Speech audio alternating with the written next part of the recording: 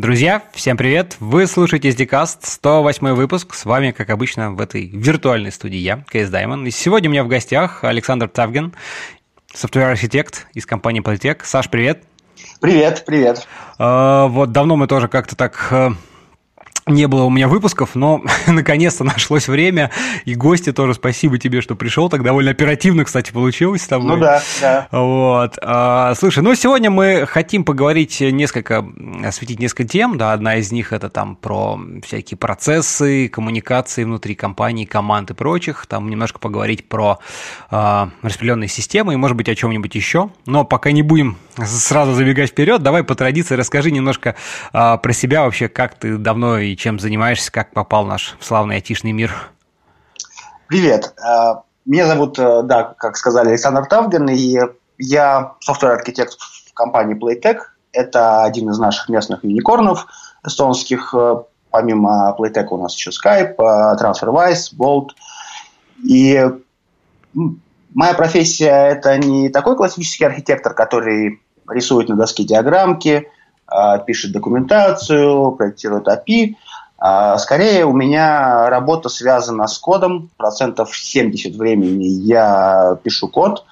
И мои задачи не связаны с основными бизнес-процессами компании. Скорее я занимаюсь так называемым research and design и ребел-проектами. Проектами, которые решают какие-то проблемы, а, связанные с, допустим, с операционными с операционным управлением, проблемы, связанные, допустим, с какими-то, ну, с решениями нестандартными бизнес-тасков. Бизнес и, соответственно, как бы это немножко э, ну, меняет да, мою роль, поскольку у меня нет как таковой команды. Э, напротив, я э, собираю команду или вливаюсь в какую-то команду э, в связи с каким-либо проектом. То есть это достаточно такая достаточно интересная работа, необычная и всегда новые вызовы. Э, в принципе, если посмотреть, то в, в IT я пришел, наверное, с детства. У меня был э, в детстве первый такой инструмент, это программируемый микрокалькулятор. И э, на нем можно было писать достаточно неплохие, серьезные вещи. Да? Там было 105 байт памяти, 15 регистров. В науке и жизни была целая рубрика «Человек с микрокалькулятором», и там люди считали какие-то э, интегралы, э, рассчитывали вероятностные задачи. То есть было достаточно интересно. Конечно, в 11 лет я не понимал э, да, самих вот этих кейсов, связанных там, с математическими, но э, понимание того, как это работает, э, писал, ну, писал какие-то свои небольшие штучки, оно, оно было. И недавно как раз у Тагира Валеева в Твиттере видел тоже, он нашел свой калькулятор, и он, в принципе, тоже это тот человек, который начинал оттуда. Ага. Потом у нас было школьное программирование, это был 93 год, э, Basic, и это были э, поначалу да, такие советские системы, ДВК, но мы с одноклассником на этом Basic написали игру. Э, это была летающая тарелка, которая бомбила танки, и танки, соответственно, отстреливались. Это была оскоя графика. А, танки, как сейчас помню, гусеницы были из фигурных скобочек, три буковки О между ними. Ну, да, это достаточно работало и выглядело неплохо. А в индустрию я пришел а, в 2000 году, это вот первое мое рабочее место, а, где, в принципе, все и завертелось. Тогда же я так серьезно уже познакомился и с Java, и уже немножко начал э, ну, писать, смотреть, учиться э, в системах на C, и вот как-то вот с этого времени пошло. То есть, в принципе, в следующем году у меня будет, да, 20 лет э, в индустрии. Э, очень много все поменялось, естественно, очень по-разному компании развивались, очень в разных компаниях работал, то есть и жил в Европе, работал в Швеции, в Лондоне, то есть достаточно очень хороший такой опыт, где ты видишь, насколько а, разно, по-разному а, выстраивается культура в компаниях, насколько по-разному выстраиваются инженерные процессы. И, ну, в принципе, это так достаточно все было интересно. А, если бы вот еще раз прожить это все, я бы это повторил. Слушай, ну да, довольно-таки так э, насыщенная, разнообразная у тебя айтишная жизнь, твоя айтишная биография. Слушай, ну расскажи еще, э, вот, может быть, немножко поподробнее про, про компанию, да, ты уже рассказал, так сказать, что там какие-то, mm-hmm. там, ты, твоя роль, да, еще мы тоже немножко ее раскроем, вот, но вот в целом про компанию, просто как бы чем занимаетесь, какие там есть проекты, процессы, чтобы нам немножко вот погрузиться mm-hmm. в контекст э, дальнейшей беседы. У нас э, компания очень большая, э, она э, раскидана по всему миру в буквальном смысле. А если брать общее количество человек, то это более 5000. Если брать инженерные команды, да, то есть люди, которые непосредственно создают софт, люди, которые этот софт э, деливерят, да, решают проблемы, то это порядка, ну, может быть, полутора тысяч. И офисы у нас э, основные, да, разработка это вот Эстония, Таллин, Тарту, но они также существуют и Киев, э, София в Болгарии, это и Кипр, это и Израиль, это и Англия, то есть ну, понятно, в общем, территориально вообще распределены там по всему географически, по миру, да. Да, а... Угу. Да, здесь получается, что э, продуктов в компании очень-очень много.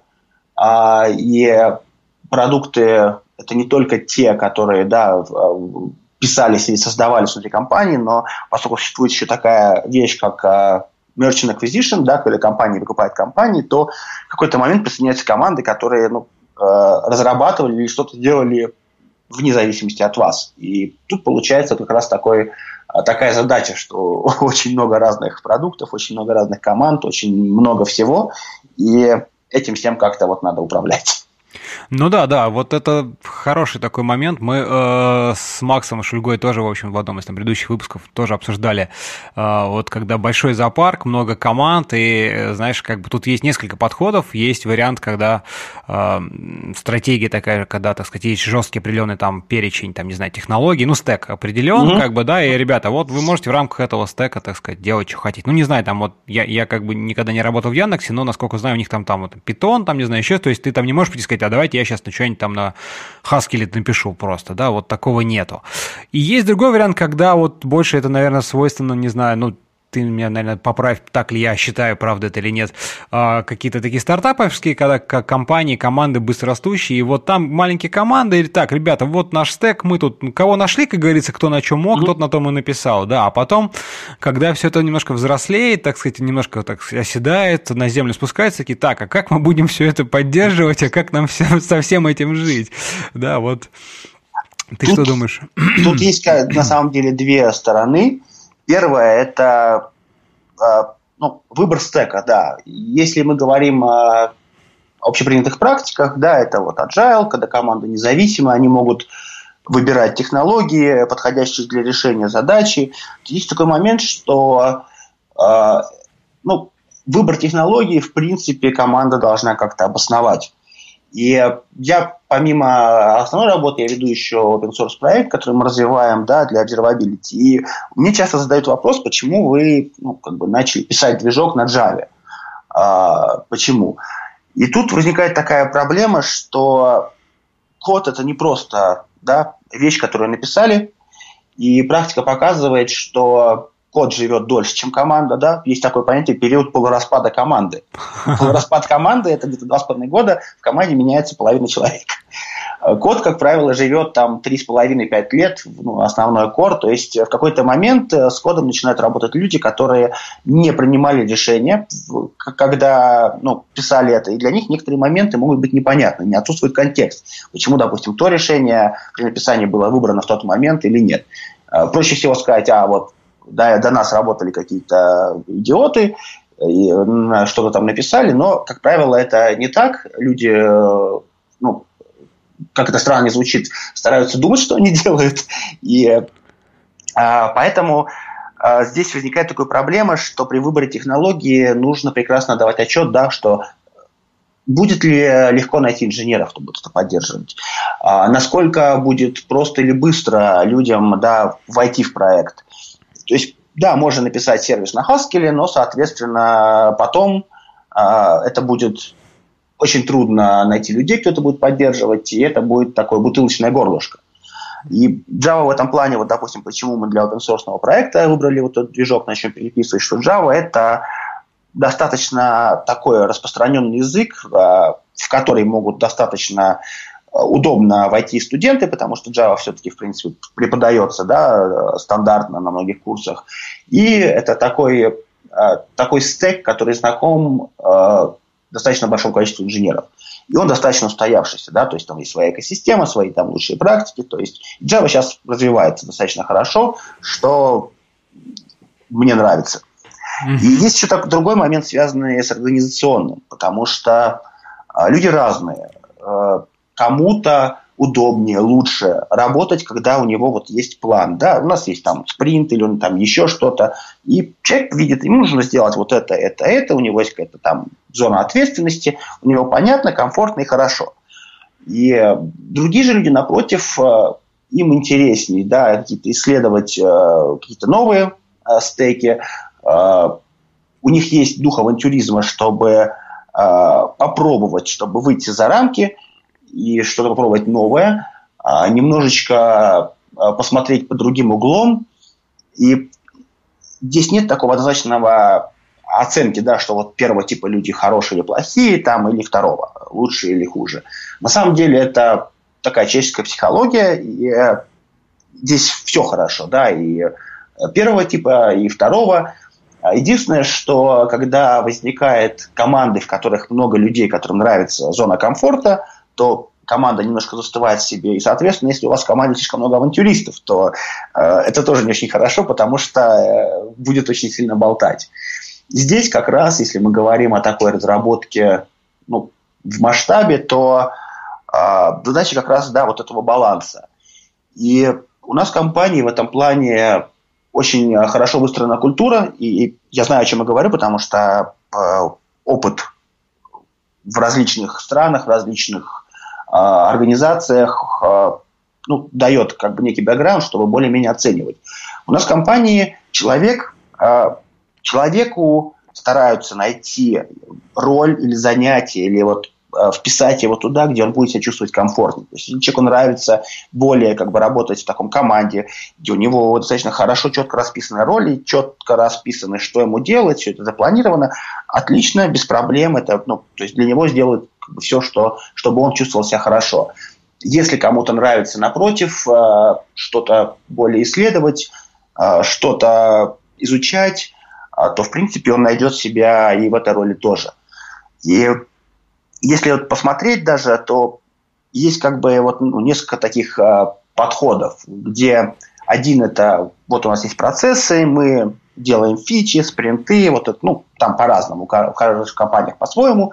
А, и есть другой подход, это так называемый, вот мы их называем ребел проекты. Ребел проекты это когда а, есть некая проблема в организации. Она может быть, в принципе, бизнес-проблема, она может быть какой-то internal, и нету как бы еще понимания полного, да, как, как это надо делать, решать, нету процессов никаких вокруг, потому что это вот ну, только некая идея, некий подход, чтобы найти, сделать research то, в принципе, собираются э, такая собирается команда под проект, э, куда входят люди ну, с различных, опять-таки, команд, со своим доменовым как бы бэкграундом, и возникает такой как бы, процесс работы как в стартапе, когда у вас там нету жиры, вы не, вы не делаете никакие процессы, вы, в принципе, собираетесь, может быть, раз в день, может быть, реже, если ну, не требуется такое часто, частое собрание, координируйтесь, синхронизируйтесь и достаточно быстро идете вперед, потому что каждый новый проект это, в принципе, похоже на проход по болоту, да, ты не можешь сразу идти напрямую куда-то, а ты делаешь шажочек, прощупываешь, ну, вроде, вроде можно ступить дальше. Ступаешь, дальше уже как бы появляется более лучшее понимание того, что, что надо делать и что ты делаешь. И это такой степ-бай-степ ну, идет вперед. И, в принципе, по ну, я работал по таким схемам э, вот э, и в предыдущей компании. Это имеет несколько плюсов. Помимо того, что это решает некие проблемы, помимо того, что это достаточно быстро позволяет сделать некий прототип и ну, подтвердить какую-либо гипотезу, это еще и отлично работает в плане обмена информацией. между различными командами, когда э, люди с разных команд, с разных э, областей начинают очень активно обмениваться информацией, и это очень сильно э, дает нового типа знания ну, другим командам, да, допустим, девелопменты больше начинают понимать о том, как работает uh, operation team или там critical incident uh, uh, team, которые что-то делают. Uh, в этом плане у меня был очень хороший опыт uh, в Лондоне, в компании IG, uh, где я работал в SRE тиме, и, ну, представим, да, то есть еще большие, большая организация, тоже очень много небольших команд, которые, ну, делают свои сервисы, да, там, какие-нибудь REST, там еще что-то. И SRE команда, она имеет такое общее visibility, потому что она видит, как работают э, вот эти все компоненты вместе, э, понимает, э, как это все идет в, в продакшене. Поскольку проблема э, вообще operations в том, что мы, ну, тесты не дают нам а, полного понимания того, как система будет работать, потому что тестирование происходит в такой некоторой, некой песочнице, да, где мы покрываем там некое, некую логику там, и кейсы, но проблемы реального мира, они, как правило, связаны, да, ну, часто связаны именно и с реальным миром, да, может там, в нетворк упасть, а, или по, ну, появиться некая ну, комбинация каких-либо событий или логики, и это все проявляется только там. И там была вот в, в этой английской э, компании такой подход, что окей, мы, э, есть какая-то проблема, есть инцидент или есть баг, если он маленький, мы можем на месте да, там, пофиксить код, это делается, но если это что-то большое, то э, человек, вот этот инженер, кто берет на себя решение проблем, он идет в эту команду на недельку и вместе с девелоперами там э, решает ее. И поскольку команд очень много, есть команды, ну, которые работают с разным стеком. Например, одна команда работает там, с графами, базами данных, а другая команда работает там, а, с, допустим, с определенными какими-то системами, то э, в течение там, полугода-года у инженера, который походит по этим всем командам, по недельке посидит, у него ну, образуется очень хороший тоже такой опыт понимания там, различных э, технологий, как они работают. Соответственно, те команды, куда приходит да, вот этот инженер, получают тоже опыт от uh, того, ну, от uh, operation, от того, как все это работает вместе, какие проблемы нужно, допустим, думать, может быть, наперед. Там. И это, в принципе, очень хорошо да, ну, uh, ну, двигает такое знание внутри организации. То есть, в принципе, у нас сейчас в компании это тоже достаточно так пропагандируется. То есть, если человеку комфортнее работать в команде, где у него, э, где у него уже все примерно по это распределено, это окей. Если человек больше хочет э, как-то двигаться в различных направлениях, что-то пробовать, это тоже окей. Ну, всегда как бы найдется место и, и тому, и тому. Слушай, классно, но тут, тут э, несколько таких моментов, смотри, э, насколько я тебя правильно понял, э, вот есть команды, да, какие-то там, ну, продуктовые, назовем их так, да, угу. которые там, вот они пилят свой, там, не знаю, сервис, модуль, компонент, угу. неважно что-то. В принципе, ну, обычно это некая команда, все же она сосредоточена там на каком-то своем продукте. Да, у них есть там свой стек какой-то. Вот э, все же, ну, DevOps, там, SRE, как ни назови, да, угу. вот это всегда обычно команды, которые там чуть-чуть выше стоят, ну, потому что угу. они чуть-чуть больше видят картину, угу. да. Есть подходы, когда э, SRE там или DevOps прямо у тебя внутри команды какой-то есть. То есть, да, я думаю, тоже знаешь, что есть э, угу. подходы, когда каждая команда деплоится независимо. То есть, как бы, да. Угу. И вот э, тут... Э, Um тоже, мне кажется, немножко разные. Одно дело, когда у тебя SRE, вот как-то у тебя там было в примере там какой-то английской компании, они отдельно так из команды. Да, mm. мне понятно, потому что, да, SRE мы видим все, случилась проблема, я как инженер взял проблему, пошел в конкретную команду, начал ее решать с командой. Э, то есть я такой являюсь, скажем так, инициатором вот э, немножко в том числе mm. решения проблемы в первую очередь, ну и, и в том числе шаринга знаний, вот это все завязано. Вот в случае, когда команда независимые, там, мне кажется, тут немножко сложнее сложнее может быть. Вот как ты думаешь? Потому что, ну, если команда независима, деплоится независимо, ну, безусловно, есть какая-то там абстрактная, там, mm-hmm. не знаю, департамент, группа, которая как бы обслуживает все, но по сути они э, очень так поверхностно, потому что как бы каждая команда сама отвечает за свой какой-то модуль, да, и вот э, как ты думаешь, как в этом случае может быть вот осуществляться вот этот вот, э, ну, такое проникновение, взаимное проникновение, да, команд, там, знаний, не знаю, между собой, когда какая-то проблема, ну, случился инцидент, да, я команда независимая, супер, стартапер, как бы, ну что, ну, ну, вроде бы у нас проблема, да, ну, давай ее решать. Она, на самом деле, может теоретически там затронуть другие. Угу. Вот ты как думаешь, как здесь, что может быть?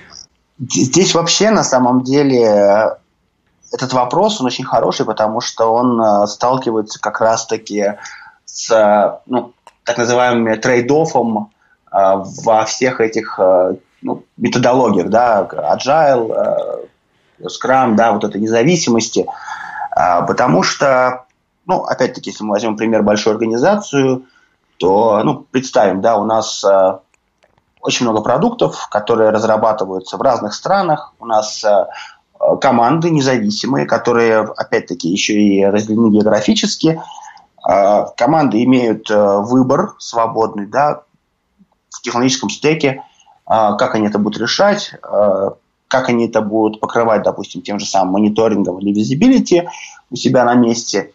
И в итоге это приводит все к тому, что получается некий такой зоопарк, да, зоопарк решений, зоопарк подходов, и в какой-то момент теряется некая вот эта такая центральная, центральная видимость, визибилити.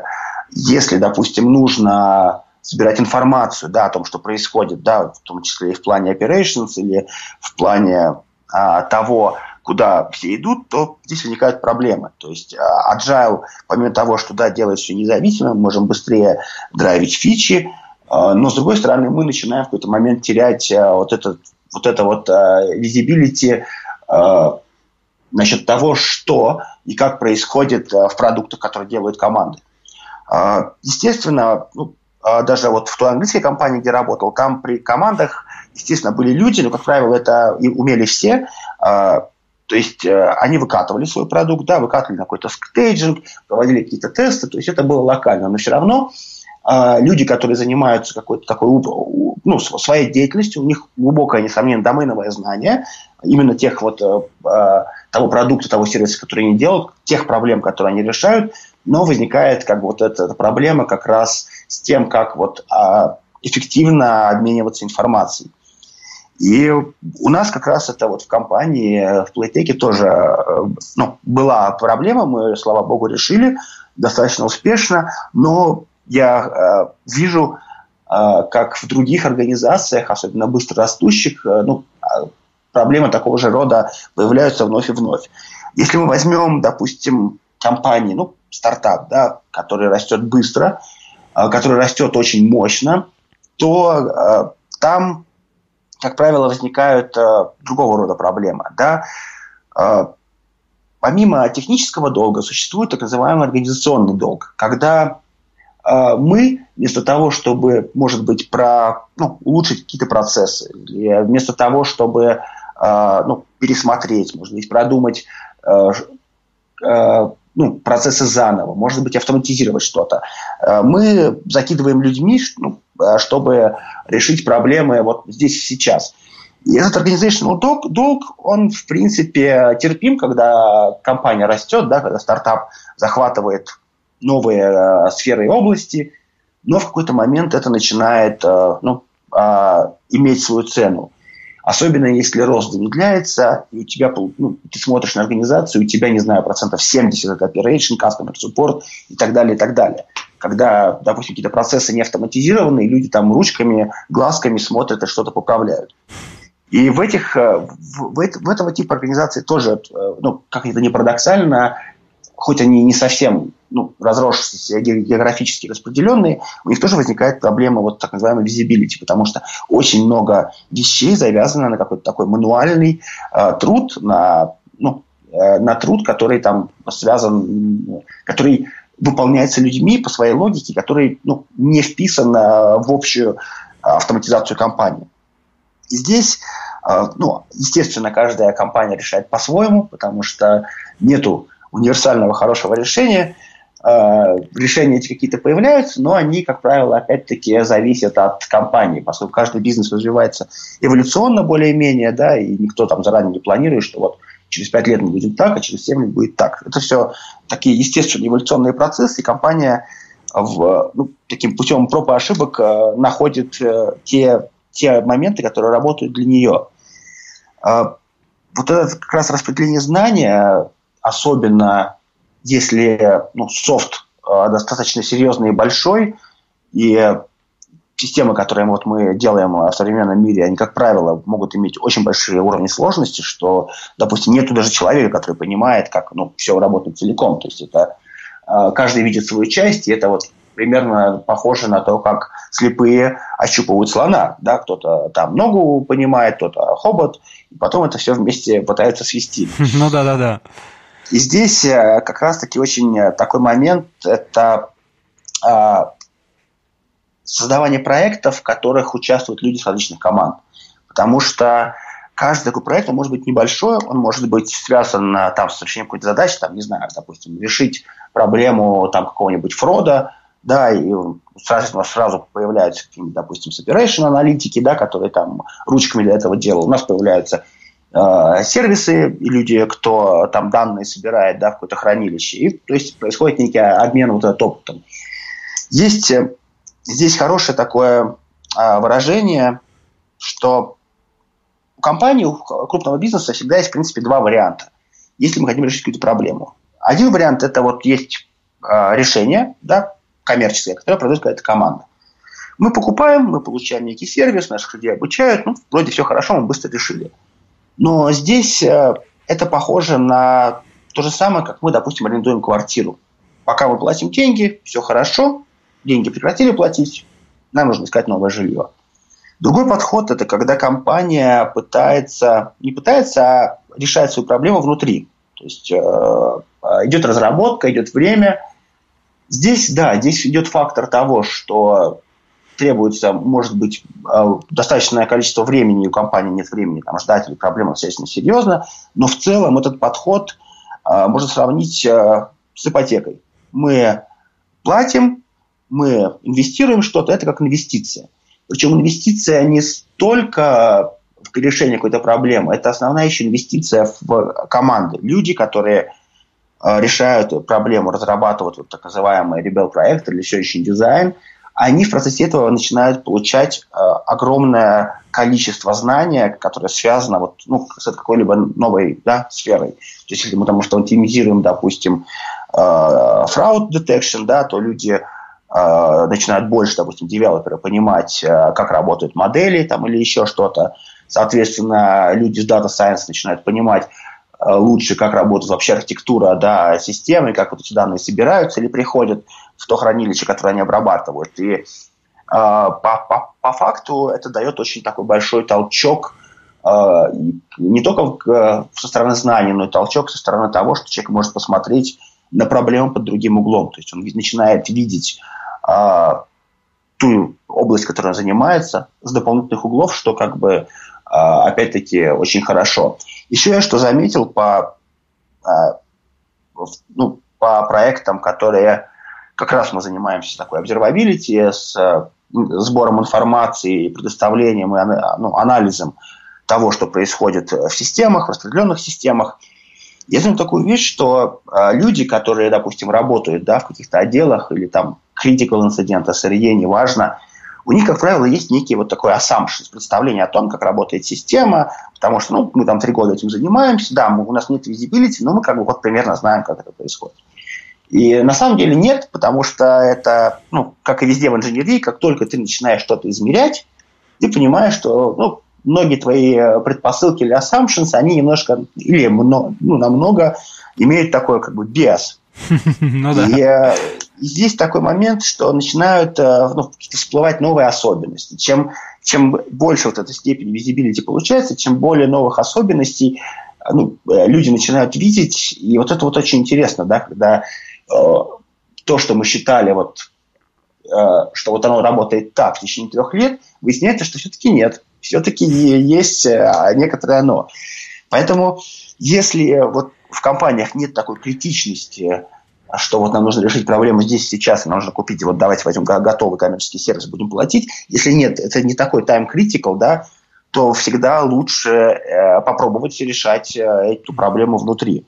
Причем попробовать решать не начинать изобретать велосипеды, а ну, какое-то время э, посмотреть, что сделано в этой области в других компаниях. Потому что, как правило, э, ну, э, есть некий такой набор проблем, которые сталкивается практически каждая компания, И если не решают ее внутри себя, то, в принципе, компании начинают решать одного рода проблемы, и, как правило, при, приходят к, одному, к одним и тем, тем же выводам, если проект как бы не, не зафакапится. Вот здесь очень хорошо, да, как раз тоже в плане систем по автоматическому анализу метрик, то есть вот буквально сейчас открываются там новые э, инженерные посты, вот у GitLab месяц назад, Uber Engineering, э, коммерческие решения, мы, в принципе, все пришли к одному и тому же. То есть это как бы, ну, такая вот, ну, если есть какие-то оптимальные решения для чего-то, то, в принципе, инженеры их рано или поздно приходят к ним через какое-то количество граблей. Ну и... да, это, это понятно. Сейчас еще как бы хорошо, что тут всякие конференции, полно конференций, и люди, э, ну и компании, в первую очередь, стали довольно-таки открыты вот с этой точки зрения, угу. да, там, там, не знаю, Dropbox, Uber, все там ходят, рассказывают о своих. Безусловно, они могут быть несколько, ну, специфичны в плане контекста у каждой компании свой, но тем не менее, как ты верно заметил, вот эти всякие общие предпосылки, какие-то, э, ну, вектор движения, куда, да, он, он может быть очень, очень полезен.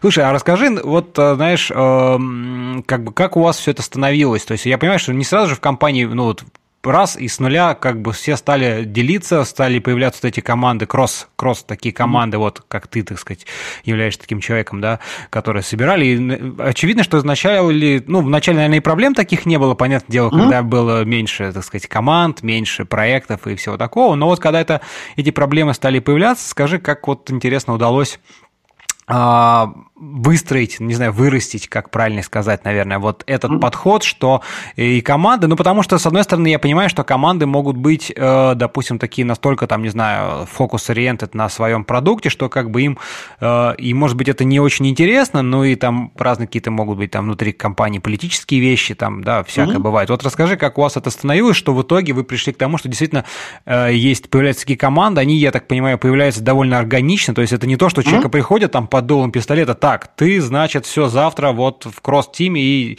человек говорит, о, нет, нет, только не убивайте, там, не надо, там, не берите мою там жену в заложники, что-то такое, да? А, а это, это естественно, есть люди, которые, да, я круто, я готов, прям мне классно, хочу посмотреть. Вот расскажи, как эта культура становилась. Ну да, это не происходит так, что менеджер э, рассылает всем, вот список добровольцев. Да, да, да. А, во-первых, если, ну, такое, если понимание вот этого всего, оно начинает приходить, когда компания начинает расти, и получается, что с этим ростом э, необходимо, грубо говоря, разбивать э, ну, э, и сами команды, и саму разработку. Почему? Да, так называемый вот этот convey low, когда организация производит продукт, похожий на коммуникационные паттерны или организацию команд э, ну, в компании это, в принципе, шло точно так же, когда требования бизнеса и, допустим, рост бизнеса ведет к тому, что какие-то компоненты системы или продукта начинают э, расти быстрее, или к ним начинают, э, э, ну, требования к ним начинают быть более, допустим, отличаться от общего. Да, и возникает, грубо говоря, такие, такого плана задачи, что мы там декуплим что-то одно, другое, что-то мы начинаем уже отдавать в другие команды. И это вот такой первый этап э, такого роста, ну, именно в том плане, как, как с каким-то ограниченным количеством ресурсов мы можем делать больше. Поэтому э, то, где надо делать больше, оно как-то естественным образом начинает отделяться, где нужно более быстрое, э, быстрый оборот, быструю реакцию, где-то, наоборот, нужно более стабильней. Э, то есть это происходит более-менее естественно. И э, в процессе вот а, таких вещей у компании опять-таки появляется опыт а, понимания того, как, а, как лучше следует, допустим, выстраивать да, новые команды, новые процессы. Как сделать вот этот перенос знания да, из там, более большой структуры в какие-то более маленькие команды. И опять-таки, если э, говорить о каких-то вот таких экспериментальных проектах, то они начинаются с каких-то таких небольших, то есть изначально, да, давайте попробуем это, давайте попробуем это. И э, это сработало, это сработало, это не сработало, но зато у всех появилось знание, что туда идти не стоит, а, а если и стоит, то вот лучше тогда вот туда, туда не заходить, туда вот этого избегать. А, и ну, вот в процессе этого как-то вот понимается, да, а, ну, происходит понимание внутри организации. И здесь я опять-таки хочу сказать, что в момент вот таких преобразований всегда достаточно хорошо видно, да, то есть какие-то люди, которые на себя не боятся брать ответственность, люди более активные, люди более, э, которые более стремятся залезть в какие-то смежные сферы, они, соответственно, тоже органически, естественно, ну, всплывают в команде, как, допустим, более какие-то такие, э, ну, это может быть и team lead, это может быть какой-нибудь и lead, между ними, да, есть разница, и ну, лучше все-таки их не смешивать. Э, и, соответственно, вот у этих людей, которые имеют визибилити да, в своей команде, в своем бизнес-процессе, им уже органически легко наладить контакт с другого, ну, с такого же типа людьми из других команд, и, соответственно, уже что-то делать быстро и пробовать идти вперед. А, я вот как раз сказал, что есть разница между тим лидом и тех лидом. Да, это вот то же самое, как э, такой вопрос э, VP of Engineering versus CTO. Здесь есть такой момент, что если мы говорим о Team Lead, то задача Team Lead да, сделать, чтобы э, людям в его команде было комфортно, чтобы они э, ну, получали или работали в той сфере по такому ритму, какому вот подходит им, который им удобен, который ну, заставляет человека чувствовать себя комфортно в команде. Да, и всем комфортно, всем хорошо. А, и тех лид напротив, это человек, который менторить э, людей, ну, в плане, допустим, в инженерной, да, то есть это технические обсуждения. Это человек, который э, помог, ну, если э, ну, саппортит с технической стороны, он помогает, может решать какие-то проблемы, он менторит новых людей, да, это вот технические обсуждения. И эти роли ну, не очень хорошо смешивать, потому что они немножко разные, и когда человек пытается быть и тем, и тем, то, как правило, либо у него не хватает на все времени, либо он что-то делает не очень хорошо. Тем лид это более такой человек, который делегирует и который, э, грубо говоря, коммуницирует с, э, ну, э, в плане бизнеса уже с, с уровнем повыше.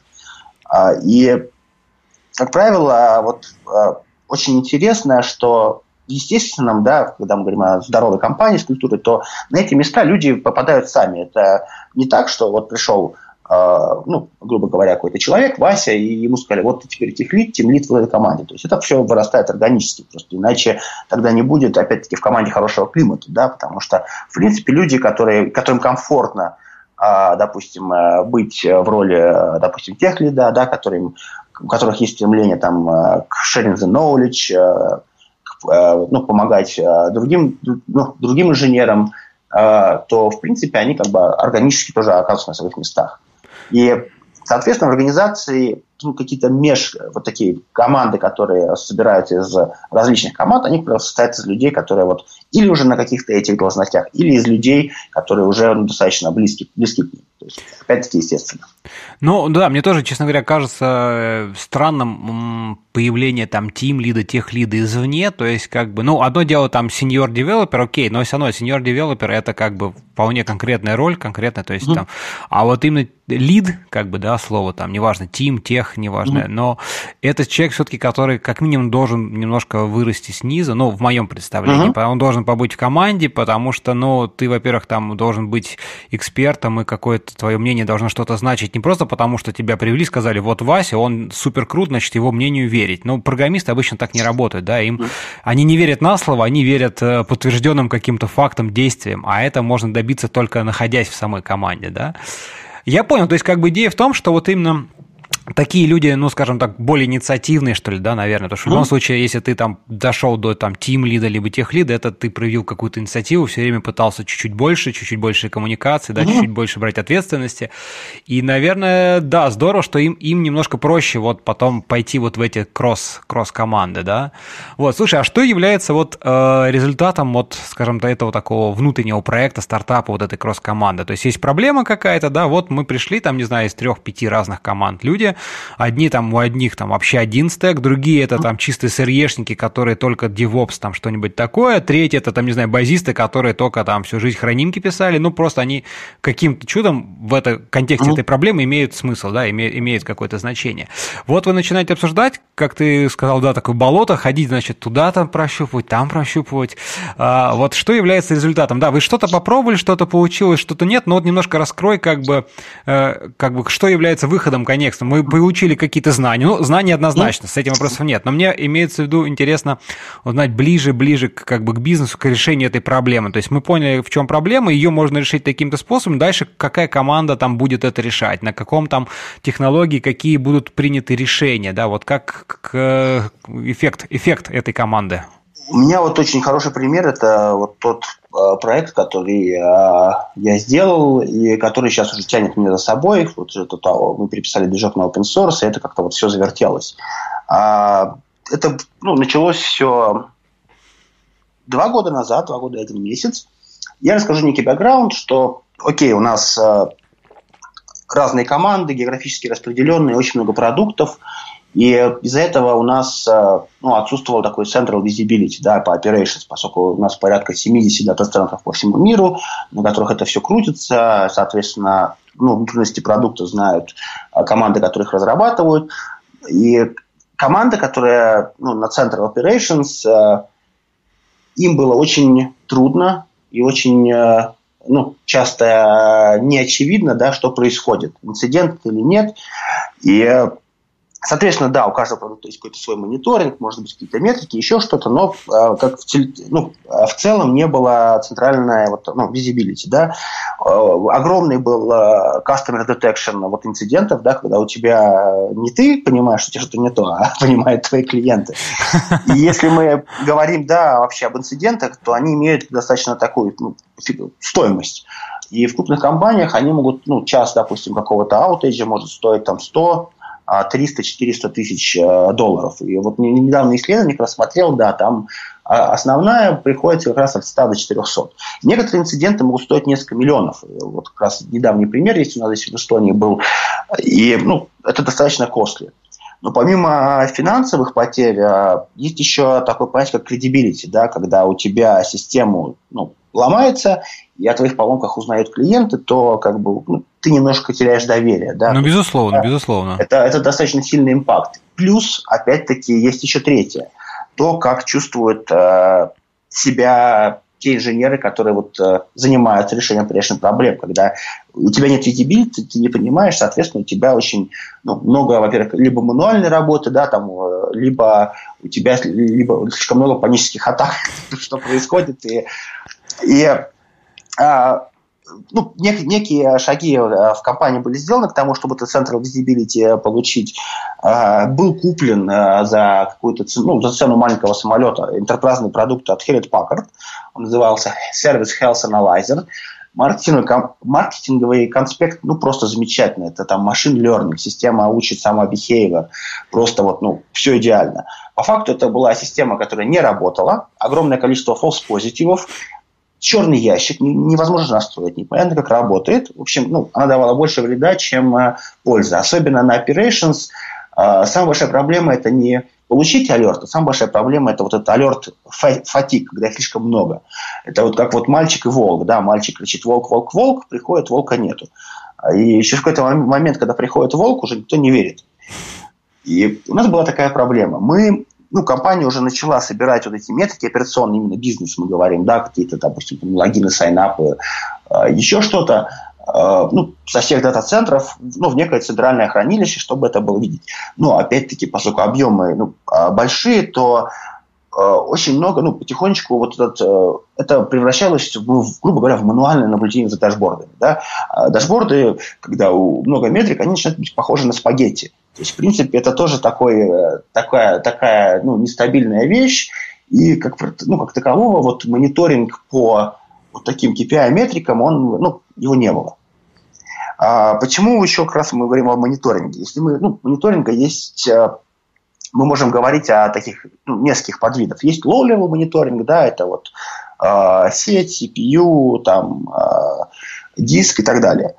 Но сейчас мы живем ну, в так называемой смене парадигмы, когда, ну, если раньше мы запускали наши системы на э, железе, да, физическом, у нас был ламп стек, там, и, в принципе, все, что мы должны были смотреть, это там какие-то не такие базовые параметры этого железа, то сейчас, э, напротив, системы наши более эфемерны, да, мы можем запускать их в клауде, и вот тот самый клауд или Kubernetes, если мы говорим, или какие-нибудь типа системы управления контейнерами, они на самом деле абстрагируют от нас железо. Да? Мы уже можем не думать как таковом о железе, потому что э, есть некая API, есть некоторые фреймворки, которые нам, а, ну, нас э, не дают нам более как бы ну, Э, не мешают нам заниматься, ну, мешают нам, э, дают возможность заниматься именно бизнес-процессом.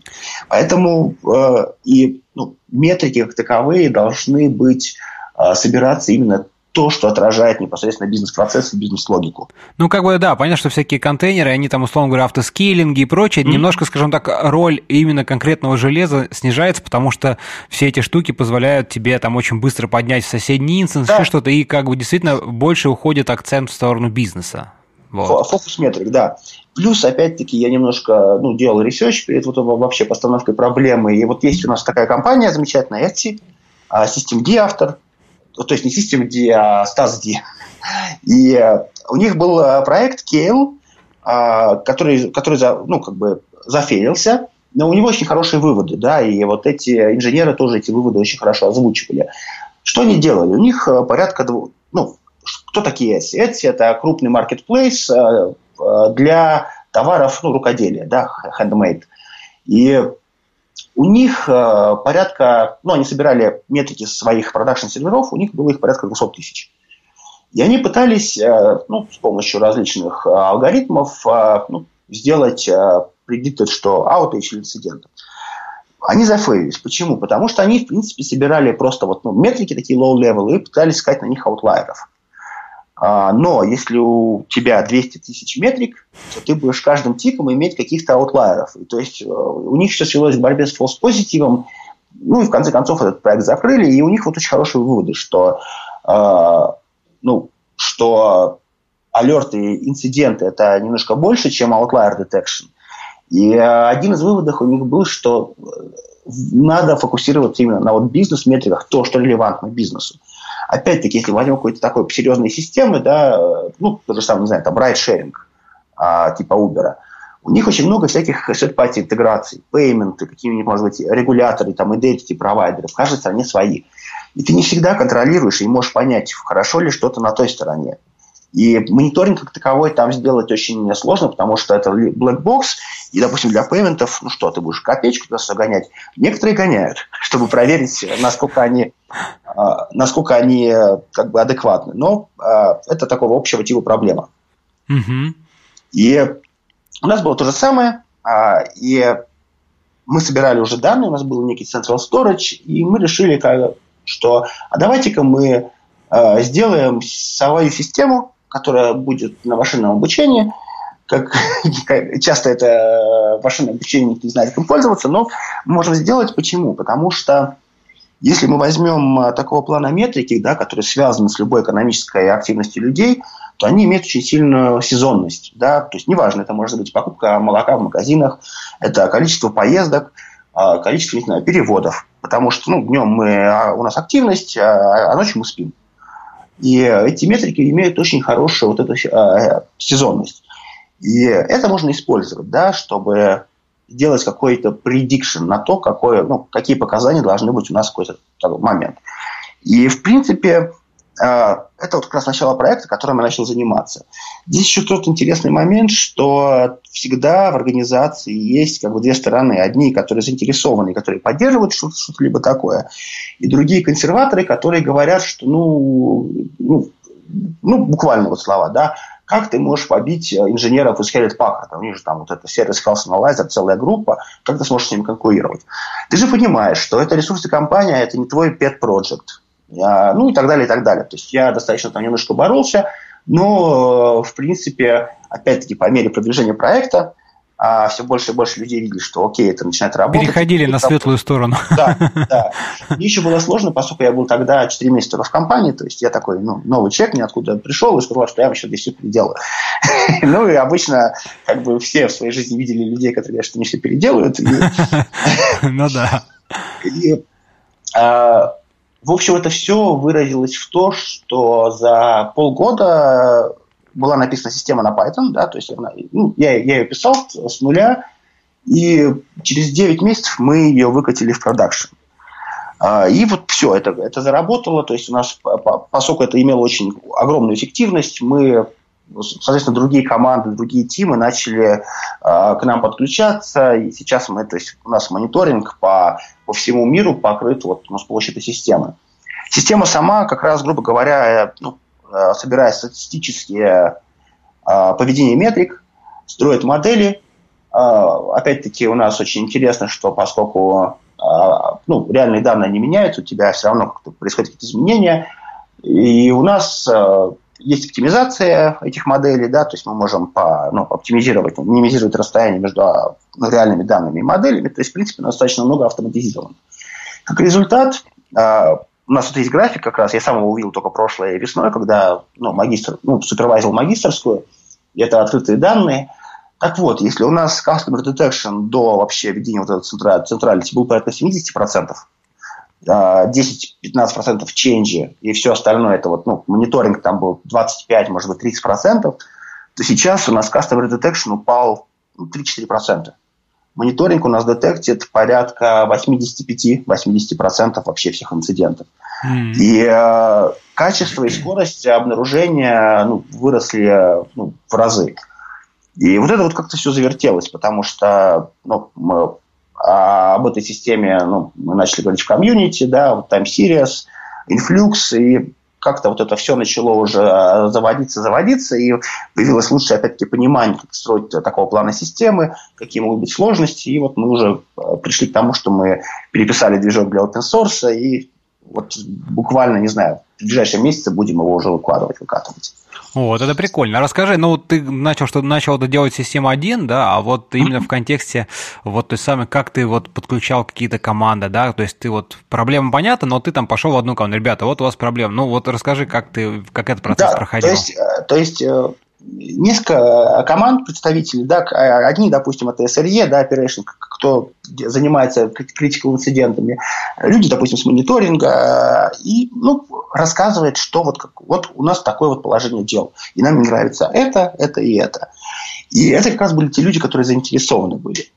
А опять-таки ты не можешь, э, ну, разработка это не то, что ты сидишь, что-то сумрачный гений в углу полгода что-то пишешь и выходишь и на тарелочке говоришь, вот, написал очень огромную роль играет фидбэк, любой. Неважно, ты стартап, который валидирует да, какую-то бизнес-модель, или ты пишешь какую-то систему, которая решает внутреннюю проблему, теперь нужен фидбэк. И здесь очень большой именно саппорт, несмотря на то, что как бы, я, я еще все еще разрабатывал один, а, очень большой и хороший фидбэк я получал от, э, от людей, кто вот, ну, SRE команд, да, operations.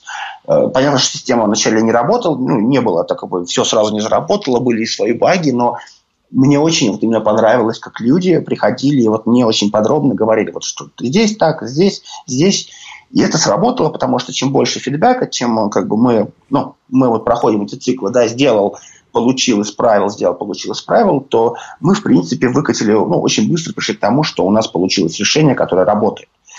И помимо того, что ну, опять-таки, естественно, это начинает расти, потому что, окей, разные команды, продукты видят, что это работает, что они могут, ну, информация о том, что у них что-то не так, а, приходит в центральную вот эту SRE команду, и с ними могут связаться, с ними могут быстро объяснить, начали подключаться другие команды, давать свои данные, там, открывать свои какие-то API для этого.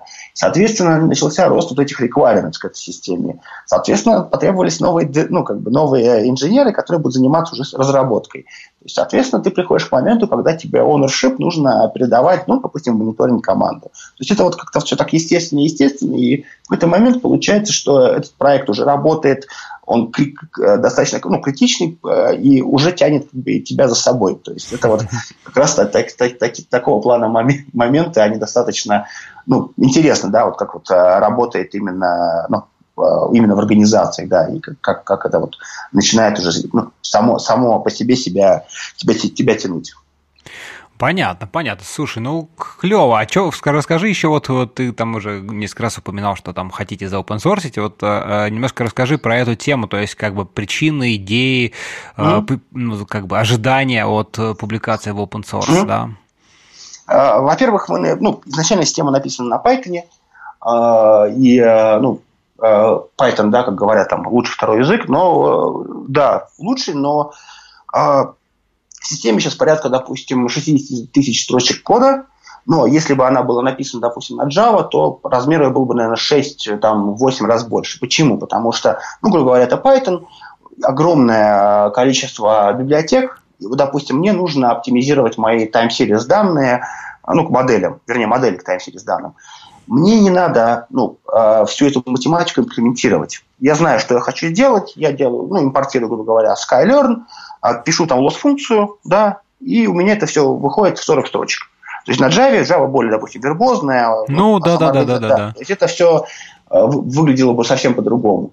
Соответственно, ну, 50 тысяч а, строк кода, это достаточно, в принципе, такой более-менее, ну, уже не маленький проект, но опять-таки Python позволяет это все очень хорошо держать под контролем и ну, получать очень, очень хорошие результаты.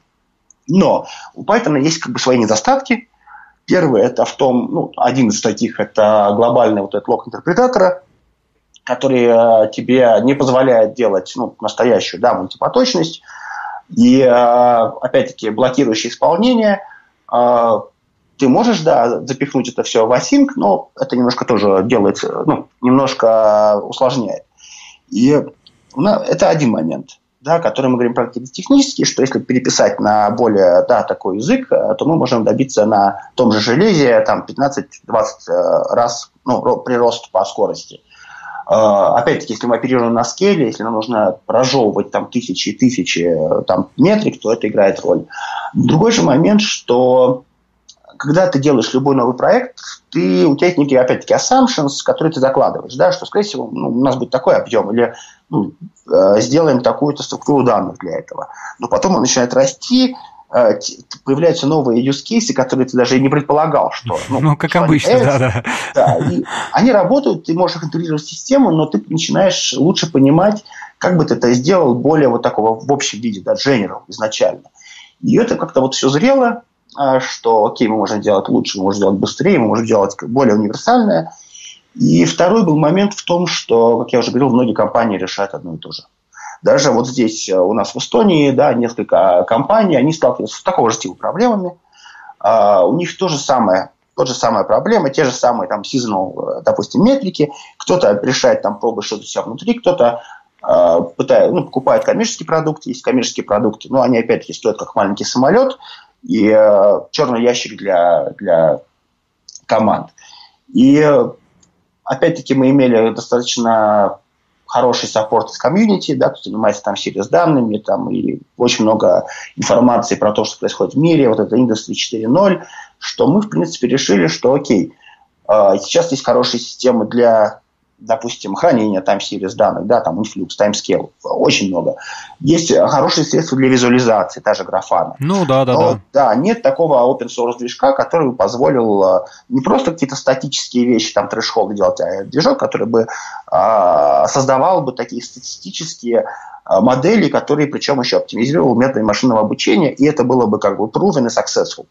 А, то есть оно работает, оно дает очень хороший, ну, Э, хороший бенефит. И опять-таки это, этот подход э, агностистичен к данным. Неважно, откуда и что ты записываешь, ты, в принципе, можешь это обрабатывать. Потому у нас даже есть кейс сейчас с интернетом вещей. Мы собираем информацию с сенсоров, все остальное примерно выглядит так же.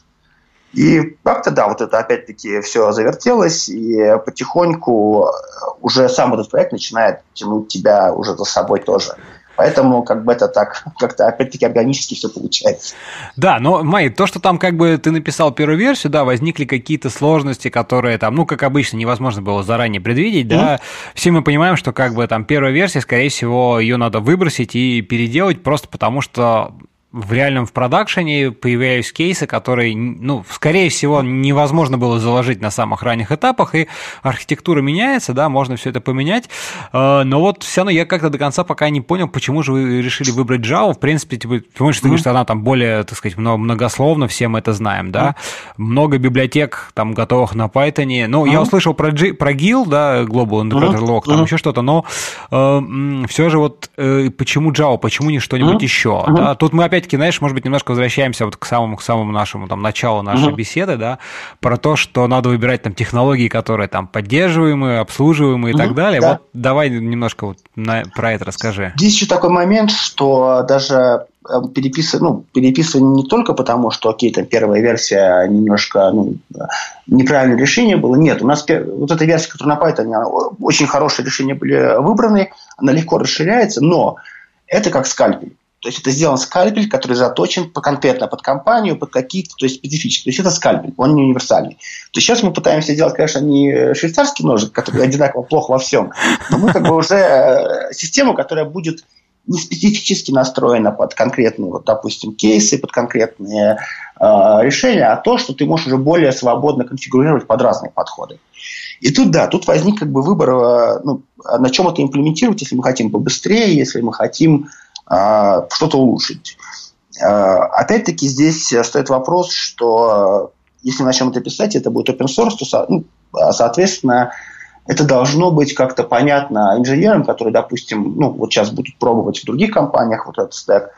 И тут возникает как раз эта проблема того, ну, так называемого лингуа франка, да, что э, окей, Go хорош, быстро, но все-таки, опять-таки, у нас есть местные особенности. Мы живем в Эстонии, у нас э, э, ну, мы маленькие, мы очень маленькие. И, то есть найти го-разработчиков здесь ну, достаточно тяжело, очень тяжело даже, я сказал бы. Соответственно, другие вот и такого плана стеки как бы немножко вот сталкиваешься ну, с этой проблемой. Брать э, достаточно широко распространенный JavaScript, ну, нет.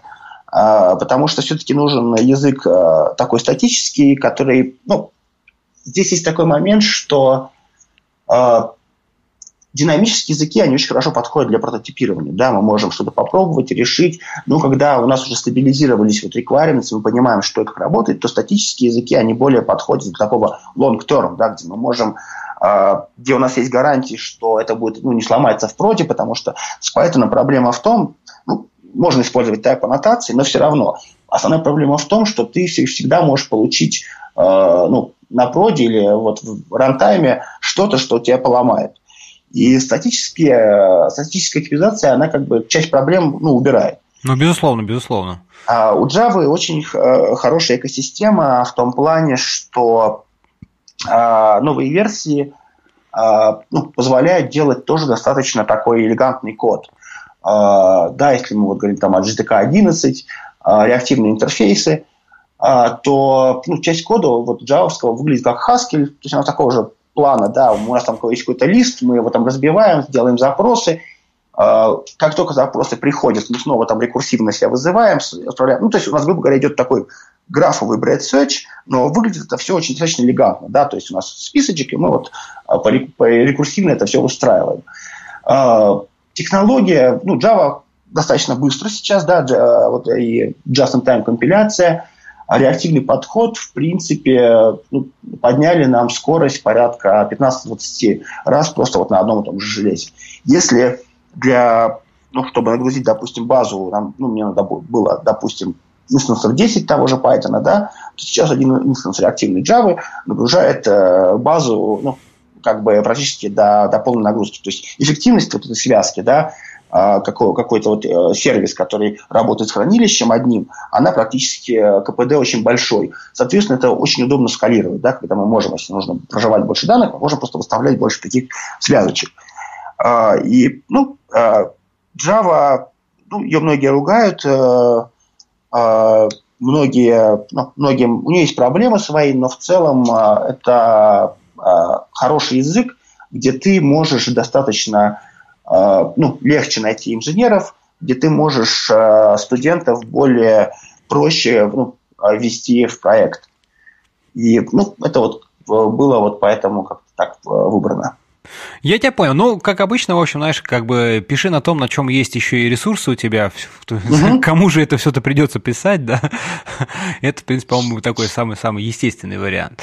А, слушай, а расскажи еще, вот знаешь, какую тему мы немножко не затронули, но мне кажется, тоже она довольно-таки интересная и достойна обсуждения. Это а, вот возвращаясь к тому, что да, окей, мы там, значит, команды какие-то поизучали, проблемы, шаринг знаний. Вот интересно, как у вас а, устроено а, вопрос внедрения каких-то новых технологий. Ну вот, допустим, да, потому что есть команды, да, проекты живут, написаны на чем-то, там оно превращается с каждым секундой в легаси какое-то там в разной степени, так сказать, протухания, да, но э, в какой-то момент все равно мы понимаем, что есть какие-то новые технологии, которые способны решить более эффективно наши проблемы там по соотношению там бизнес, цена, качество и так далее, и так далее, да. Ну, во многих компаниях есть такая штука, как техрадар, да, если у вас что-то такое есть, тоже интересно послушать послушать, как mm-hmm. это у вас происходит. Вот. Но независимо от этого, вопрос в том, что да, вот какая-то появляется новая технология, которая в какой-то момент появляется понимание, что она может быть интересна, и ее стоит применять. Да, вот расскажи, были ли у вас такие случаи, как у вас устроен вот этот процесс внедрения новых технологий? Есть несколько вариантов, как это может произойти. Э, или, допустим, есть команда, которая решает какой-то бизнес-таск, и происходит обсуждение. То есть это, опять-таки, не, не происходит так, что вот э, тем лид сказал, или тех, что, о, давайте возьмем, не знаю, Аку, и там на ней будем писать. Ну да, да, да. Нет, это происходит, что, окей, у нас есть, вот, грубо говоря, там, ну, опять-таки, мы хотим как-то потоково обрабатывать данные, и вот, ну, давайте подумаем, как, бы, как, как нам будет удобнее, может быть, новый фреймворк. И, в принципе, то есть, ну, эта свобода есть, и э, я знаю несколько команд, которые вот так, таким образом адаптируют э, новые фреймворки, в том числе на Java. То есть мы не просто, да, э, берем Spring Boot и уже, да, ну, и уже в знакомом, по знакомому пути все идем. То есть таким образом у нас вот и микронав там внедряется, и, ну, то есть команды пробуют. Как другой вариант есть, когда какой-то человек, который, ну, у которого есть какой-то ну, авторитет внутри команды, опять, который вырос там, а, который говорит, что, ребята, вот смотрите, мы здесь тратим много времени, там, допустим, с фронтендом старым, да, и вот у нас, ну, ну не очень хорошо, давайте ну, э, попробуем, допустим, Vue, да, перейдем и, ну, и объяснять, почему, потому что можно какие-то компоненты унифицировать, нам не надо там дублировать код, и нам будет легче понятнее его поддерживать. И ну, такой вариант тоже работает, и есть, как бы, соответственно, успешные примеры. Более того, у нас есть, да, в компании, вот, ну, как не техрадар, но у нас есть некие такие а, обсуждения на широкую, ну, внутри компании, на среди широкого круга, да, различных технологий или различных подходов, которые другие команды испытали, который был успешен, и, соответственно, те, кто прослушает, они могут просто по, ну, а, подумать о применении вот этого подхода или этой технологии к решению как бы, вот, своих проблем. Ну, Поэтому... это, это, кстати, был да, логичный следующий вопрос, когда вот, э, знаешь, когда много команд, и действительно, ну, у всех так или иначе есть какие-то дотипные задачи. Там, не знаю, логирование банальное, там, авторизация, ну, какие-то набор там компонентов такие. И, в принципе, есть команды, которые, безусловно, все уже там сломали дров и уже пришли к чему-то понятному, удобному. И вот тоже хороший, интересный вопрос, э, как, как э, поделиться этим с другими командами, да, и тут тут много вопросов, и, во-первых, там могут быть разные стеки, тогда это, в принципе, неприменимо, да. Если стеки более-менее похожи, то применимо, но как донести эту информацию до всех, да, чтобы как бы... Вот там мы с Максом, опять-таки, возвращаюсь, Мак, Максу привет, много мы с ним это, это обсуждали тему, когда, знаешь, в некоторых компаниях, например, проходят некие такие внутренние, ну, там, хакатоны, митинги, я не знаю, мини-конференции внутренние, да, как раз-таки с целью вот, э, что ребята, у которых что-то получилось, они готовы хотя хотят поделиться. Смотрите, вот мы сделали логирование, вот оно супер гибкое, универсальное, может подойти кому-то еще, мы готовы про них рассказать. Вот как, как у вас это происходит, какая-то Примерно так же, да, нету, нету, нету универсального метода. Я думаю, если кто-то ну, нашел бы универсальный способ, а, как вот это донести знания и чтобы это всем дошло, то все, это сразу ну, миллиардером бы. Да, это все, все индивидуально, но примерно по той же схеме, да, то есть устраиваются какие-то воркшопы, устраиваются вот эти сессии, да, которые, ну, к которым может подключиться любой человек с разных стран, ну, делать некие анонсменты, то есть, грубо говоря, вот у нас там есть, ну, будем говорить, допустим, про Vue, да, и с примерами там переходов, и люди, кто занимается в различных командах продуктов фронтендом, они, то есть, соответственно, им интересно послушать, и они могут э, э посмотреть, какого плана проблемы были у людей, какого плана проблемы были решены. Из какого плана граблями пришлось столкнуться. Ну да.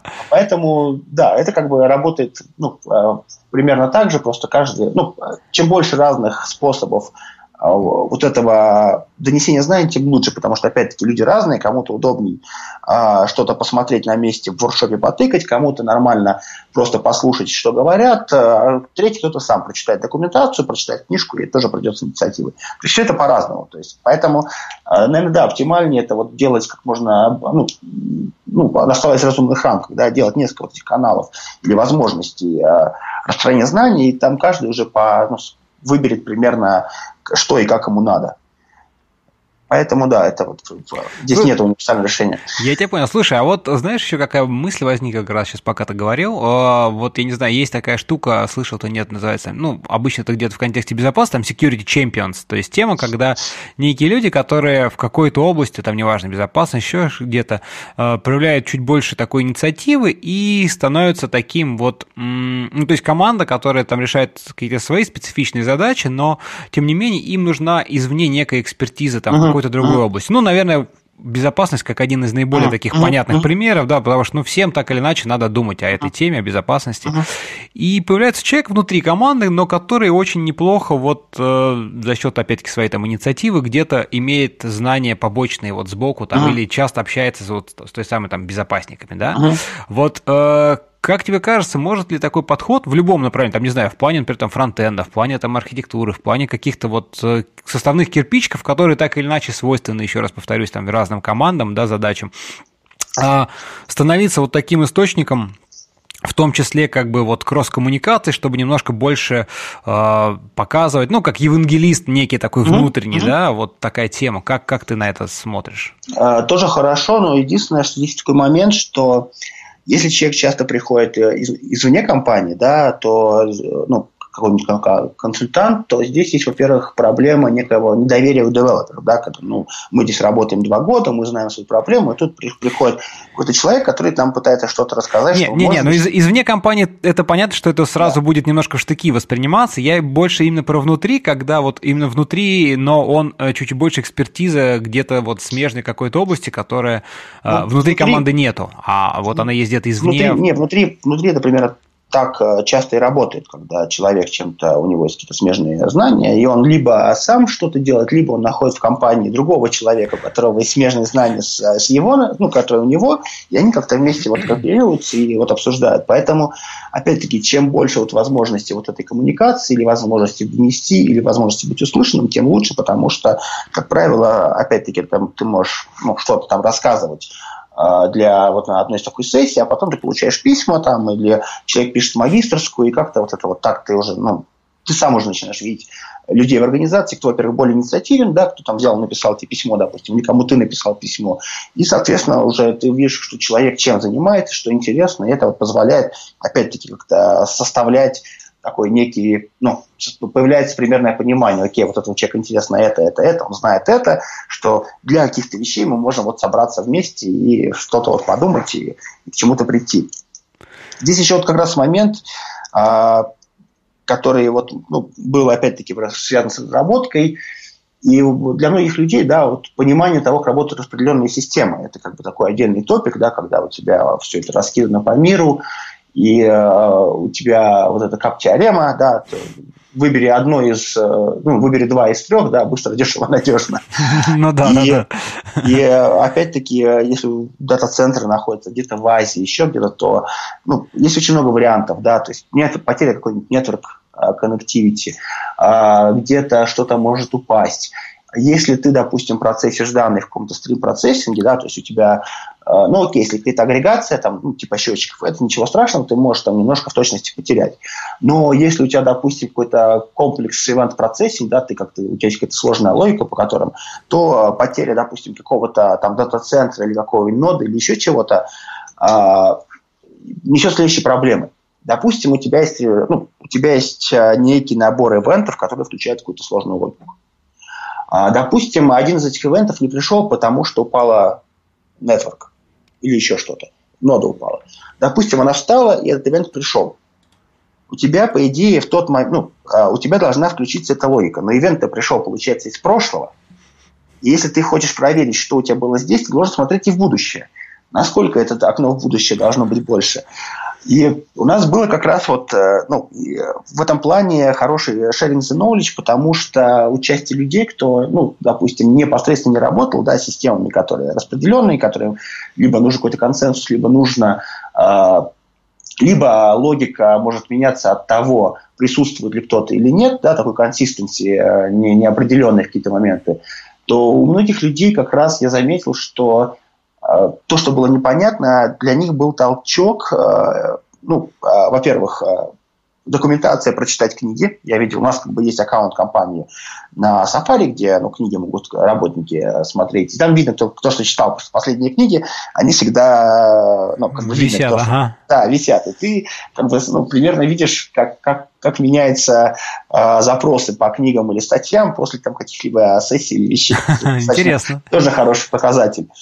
И у нас как раз было то, что, э, во-первых, э, ну, не, некоторые люди проявили больше интерес да, к, к такого типа вещам, и, соответственно, у них, они на, предложили несколько решений, которые связаны, допустим, ну, с их командой, да, у них похожего типа проблемы, допустим, где у них несколько там а, несколько сервисов, которые распределены, и вот ну, а, потенциальные проблемы могут быть такие, они вышли как бы с предложениями, что вот, ну, ребята, давайте сделаем здесь так и так, потому что вот, скорее всего, это, ну, а, может быть так.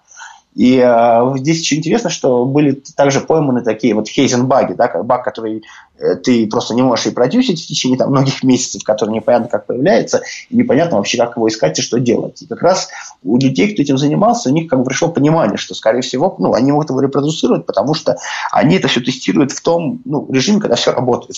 Когда все работает, все ноды подняты, все между собой вроде как бы есть. Рандомно выключают, опять-таки, поскольку нужно чтобы событие произошло, допустим, именно в тот момент, когда у тебя какие-то ивенты должны прийти или приходят, то есть опять некая логика, и в этот момент что должно отвалиться. То есть рандомно выключает, ты особо тоже ничего не добьешься, потому что ну, комбинаторная натура, да, комбинация ивентов тебе просто не позволит особо случайно на это набрести. И здесь как раз вот хороший момент, что люди именно из таких смежных областей э, как раз вот эту информацию достаточно хорошо получили и ну, впитали в себя. И было ну, несколько хороших решений тоже найдено. Почему как бы я и говорю, что здесь такое есть на самом деле аналогия, как вот с театром, да, я, я связан с театром а, в некоторой степени, и а, все же зависит а, не от того, где ты находишься, а вот есть такое понятие, как провинциальное такое мышление, да, провинциальное мышление, это значит, что-то происходит, но там, но, допустим, в театре очень много примеров, да, когда где-то какой-то э, локальный, там, совершенно провинциальный театр, и вдруг что-то там зарождается, какая-то школа, прямо вот взрыв какой-то. И то же самое, как бы, можно видеть в компаниях, да, когда, ну, кажется, там, кровавый enterprise, скучно, да, все там гребут э, по, по, по, под командой, но в какой-то момент э, ну, возникают такие, как будто, ну, не знаю, узлы там или очаги, ну, э, того, что возникает множество идей, возникает множество хороших каких-то решений, элегантных, и возникает такая некая как бы, клубок, который заражает, начинает заражать как бы, людей вокруг. Или более того, это может быть даже вот на уровне страны, да, когда в стране возникает э, некая такая группа людей, которые вот, ну, распространяют вокруг себя волны. Вот это вот как раз хорошая история, мне нравится очень. Zero Turnaround, да, вот Олег Шиляев, э, Антон Архипов, да, оттуда, потому что они же делали курсы в университетах, и вот тот же самый конференция Geekout, да, то есть это вот то, что от, ну, такой вроде небольшая группа, да, там, где, которая начинает вокруг себя вот такой, ну, создавать волны, которые начинают влиять вокруг. То же самое как бы и происходит же и внутри компании. То есть это может быть большой enterprise. Если культура компании способствует появлению такого рода очагов, то это, в принципе, двигает и мотивирует, и как-то развивает, и захватывает именно людей, которые находятся вокруг тоже. Слушай, ну да, это тут очень классно, что такое бывает, и мне тоже кажется, что вот люди, которые там находятся, такие люди, которые вокруг себя вот как-то начинают это аккумулировать. А, но, э, кстати, интересно, а как ты думаешь, насколько вот контекст, ну, контекст, может быть, э, больше имеется в виду географически, там, страна, культурный, а, способствует вот тем самым распространению, вот как бы аккумуляции. Ну, то есть, э, насколько он влияет, может ли, или это независимо там от, от страны, от какого-то там, не знаю, социально, там, не знаю, политических каких-то э, устройств, это может в любом месте зародиться. Или это просто вот сейчас наша IT-индустрия в целом, а немножко ее развитие вот сейчас находится на таком этапе, когда действительно вся тема каких-то публичных вот этих социальных, э, там, не знаю, коммуникаций, аспектов, да, социальных аспектов разработки немножко вышло, может быть, так, знаешь, на, на передний план, то есть стало чуть-чуть более заметно, чуть-чуть более активно, вот, то есть вот коммуникации, какие-то сборы, сообщества, да, ну, мы, потому что мы все прекрасно помним, что там, не знаю, 15 лет назад не было ничего такого, там были mm-hmm. какие-то очень древние, там, единичные какие-то группы такие, там, форумы, я уж не знаю, там еще что-то, да, и что мы видим сейчас, как бы сейчас, по большому счету, каждый день, там, не знаю, 10, 20, 30, 50 конференций, каких-то метапов проходят, то есть, в принципе, если на них там все ходить, то это на рабо- работать некогда будет, да? Но я к тому, что все равно вот эта вот вещь, социаль- социализация, внутри, в принципе, индустрии, она вот сейчас на таком подъеме находится и как бы да. сильно способствует всему этому. Да, несомненно. Здесь очень хороший пример – это развитие open source, можно посмотреть на что GitHub, да, и само развитие. Вот, то есть, если мне нужно что- что-то решить, то, скорее всего, это уже решено, и надо посмотреть. Библиотека, скорее всего, уже какая-то есть. Если точно такой же нет, то, скорее всего, мне надо немножко доработать. И вот это вот, э, ну, а, вот это все это сделало достаточно большую синергию да, в развитии самой индустрии. А, я даже помню прекрасно, да, если как, как, как мы решали проблемы те же 15 лет назад, Э, хотя уже вроде интернета было, да, и там, и как мы решаем проблемы сейчас, и насколько легче, да. Я как, ну, это часто похоже в какой-то мере на сбор конструктора Лего. Только единственное, что какие-то детальки ты делаешь немножко сам, как бы больше гибкость, но в принципе ты собираешь уже что-то, ты это ну, ведет больше эффективности. Мы не изобретаем велосипеды, стараемся не делать то, что уже было сделано до нас лучше. И э, это вот как раз все ну, это все взаимосвязано, в том числе и возросшая вот эта активность на, на социализации, нетворкинг, вот этот open source, потому что я ну, вижу и сталкиваюсь с различными организациями другого типа, а, государственный, например, да, когда какой-нибудь вот типичный, ну, не знаю, там, вот, ну, вызовите Новосельцева, да, то есть, в принципе, да, окей, мы работаем там с компьютером, это все, но, в принципе, организация примерно такого типа, да, какой-нибудь статистический а, отдел аналитики где-нибудь при государственной структуре. И а, там очень много я заметил, что у них как раз-таки нету такого, ну, ну а, понятно, да, комьюнити там особо ты чиновников не сделаешь, но, грубо говоря, да, разного типа организаций, в том числе там, допустим, индустрии, индустриальные какие-то вещи, у них э, недостаток вот этой коммуникации или не, ну, недостаток э, открытости вот этих индустрий приводит к тому, что изменения в них происходят на ну, очень медленно. Вернее, после IT, когда ты приходишь в такого типа организации, тебе кажется, что, ну, блин, ну, у нас, у меня еще хороший пример, как раз энергетический сектор, который, в принципе, у них там есть IT-отдел, все, но я работал там 15 лет назад, 16 уже, да, и я был, вел у них, э, там был гвестом на конференции внутренней два года назад. У них изменилось, но немного. Ну, по большому счету ничего не изменилось, так если грубо. Да, да, немного, да. У них не так много изменилось, и а, они, грубо говоря, проходят те же самые проблемы какие-то организационные в том числе, которые в IT, допустим, индустрии были пройдены, там, не знаю, лет, ну, не то, что пройдены, не всегда они пройдены, но допустим, лет 10 назад они уже как-то были обдуманы, уже как-то ну, опыт, уже какие-то ну, неудачные, допустим, решения или удачные. То есть, э, ну, когда ты смотришь Э, на другие индустрии, то это вот особенно сильно бросается в глаза. Вот именно такая небольшая полузакрытость. Понятно. Слушай, а как ты, вот, коли мы уж так как-то немножко в такие философские направления чуть-чуть ушли, э, как ты, вот твое мнение интересно, в развитии нашей индустрии, вот чувствуешь ли ты какое-то усложнение э, проектов, усложнение процессов, да, то есть вот там за там, 15-20 лет, ну, то, что мы писали тогда, какие-то системки, да, там не было высоких нагрузок, ну, потому что там в интернете еще там какие-то странички, магазинчики локальные, да, сейчас, которые мы строим системы, там географические распределенные, вот это вот, как бы сказать, интеграция всего и вся, ну такая кросс, как бы, да, глобализация, да, вот правильное слово, угу. глобализация всего происходящего, и вот не кажется, ну, чувствуешь ли ты вот это усложнение систем именно с точки зрения внутри, то есть и архитектуры, и подходы, и какие-то вот как, как ты смотришь на это? Ну, да, несомненно, здесь скорее усложнение идет на более high-level уровне. Да? То есть, если раньше ну, специализации были более узкие, могли бы быть, да, то есть и был, были такие DBA, были вот девелоперы, и более-менее так это было все, ну, узкие специализации есть и сейчас, да, ты можешь быть, там, не знаю, фронт-энд, React девелопером, но как бы это одно. Если мы говорим о таком большем, ну, о high level, то здесь, несомненно, усложнение именно в том плане, что не, ну, уже не надо писать велосипеды, как правило, есть какие-то решения, есть фреймворки, есть библиотеки. То есть то, что мы раньше бы писали, ну, имплементировали бы на месте, то сейчас, как правило, есть, но сейчас появляется проблема, как вот это все собрать все вместе, да, как нам а, построить систему из таких кусочков. И здесь э, еще более выходит на первый план вот это умение, как бы, да, разделение проблем, да, декомпозиция уже, вот что, что как поделить, как это сделать так, чтобы это было, ну, чтобы это прожило, допустим, достаточно долгое время. Здесь еще есть такой момент, что, ну, сейчас достаточно, да, можно читать там, вот, там, не знаю, искусственный интеллект заменит программистов, еще что-то. На самом деле нет. И если сейчас у нас в мире порядка 20 миллионов разработчиков, то э, через, ну, мы скоро будем жить лет 10-15 в мире, где будет 100 миллионов разработчиков.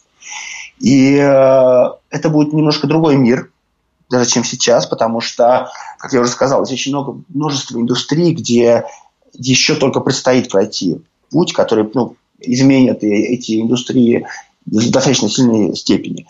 И э, каков будет, ну, мы как бы должны готовиться к миру, где будет 100 миллионов э, разработчиков, в 4 раза больше.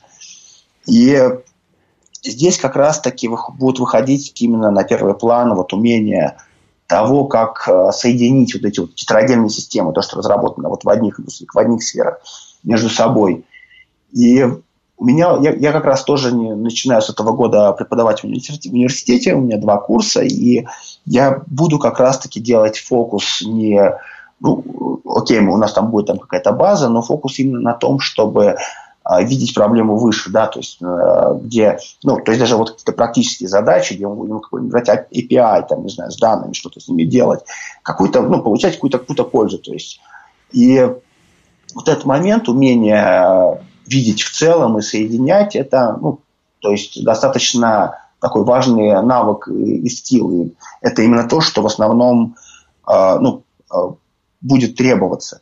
То есть узкая специализация, ну, есть такое модное слово, да, T-shape специалист, когда у тебя есть в чем-то очень прям такое глубокое, и остальное ты, в принципе, знаешь и понимаешь, что как работает. А, я бы сказал даже, что нужен не T-shape специалист, потому что, в принципе, узкая специализация, ну, а, для IT, опять-таки, если мы говорим о, о, ну, о разработчике, ну, который решает какие-то стандартные э, задачи, то ему даже не настолько глубоко нужно, нужно это идти ну, он может знать какие-то там компьютер-сайенс спецификал э, вещи, но в принципе они не особо ему нужны, потому что он занимается в большей части именно собиранием чего-то вот целого, да, э, поэтому это, скорее всего, э, вот этот Т становится все толще и толще, а ножка этого Т может э, уменьшаться. Есть еще вот как раз хороший термин, у нас в Эстонии, вот Антон Кекс про него тоже сейчас хорошо говорит, это вот крафтман.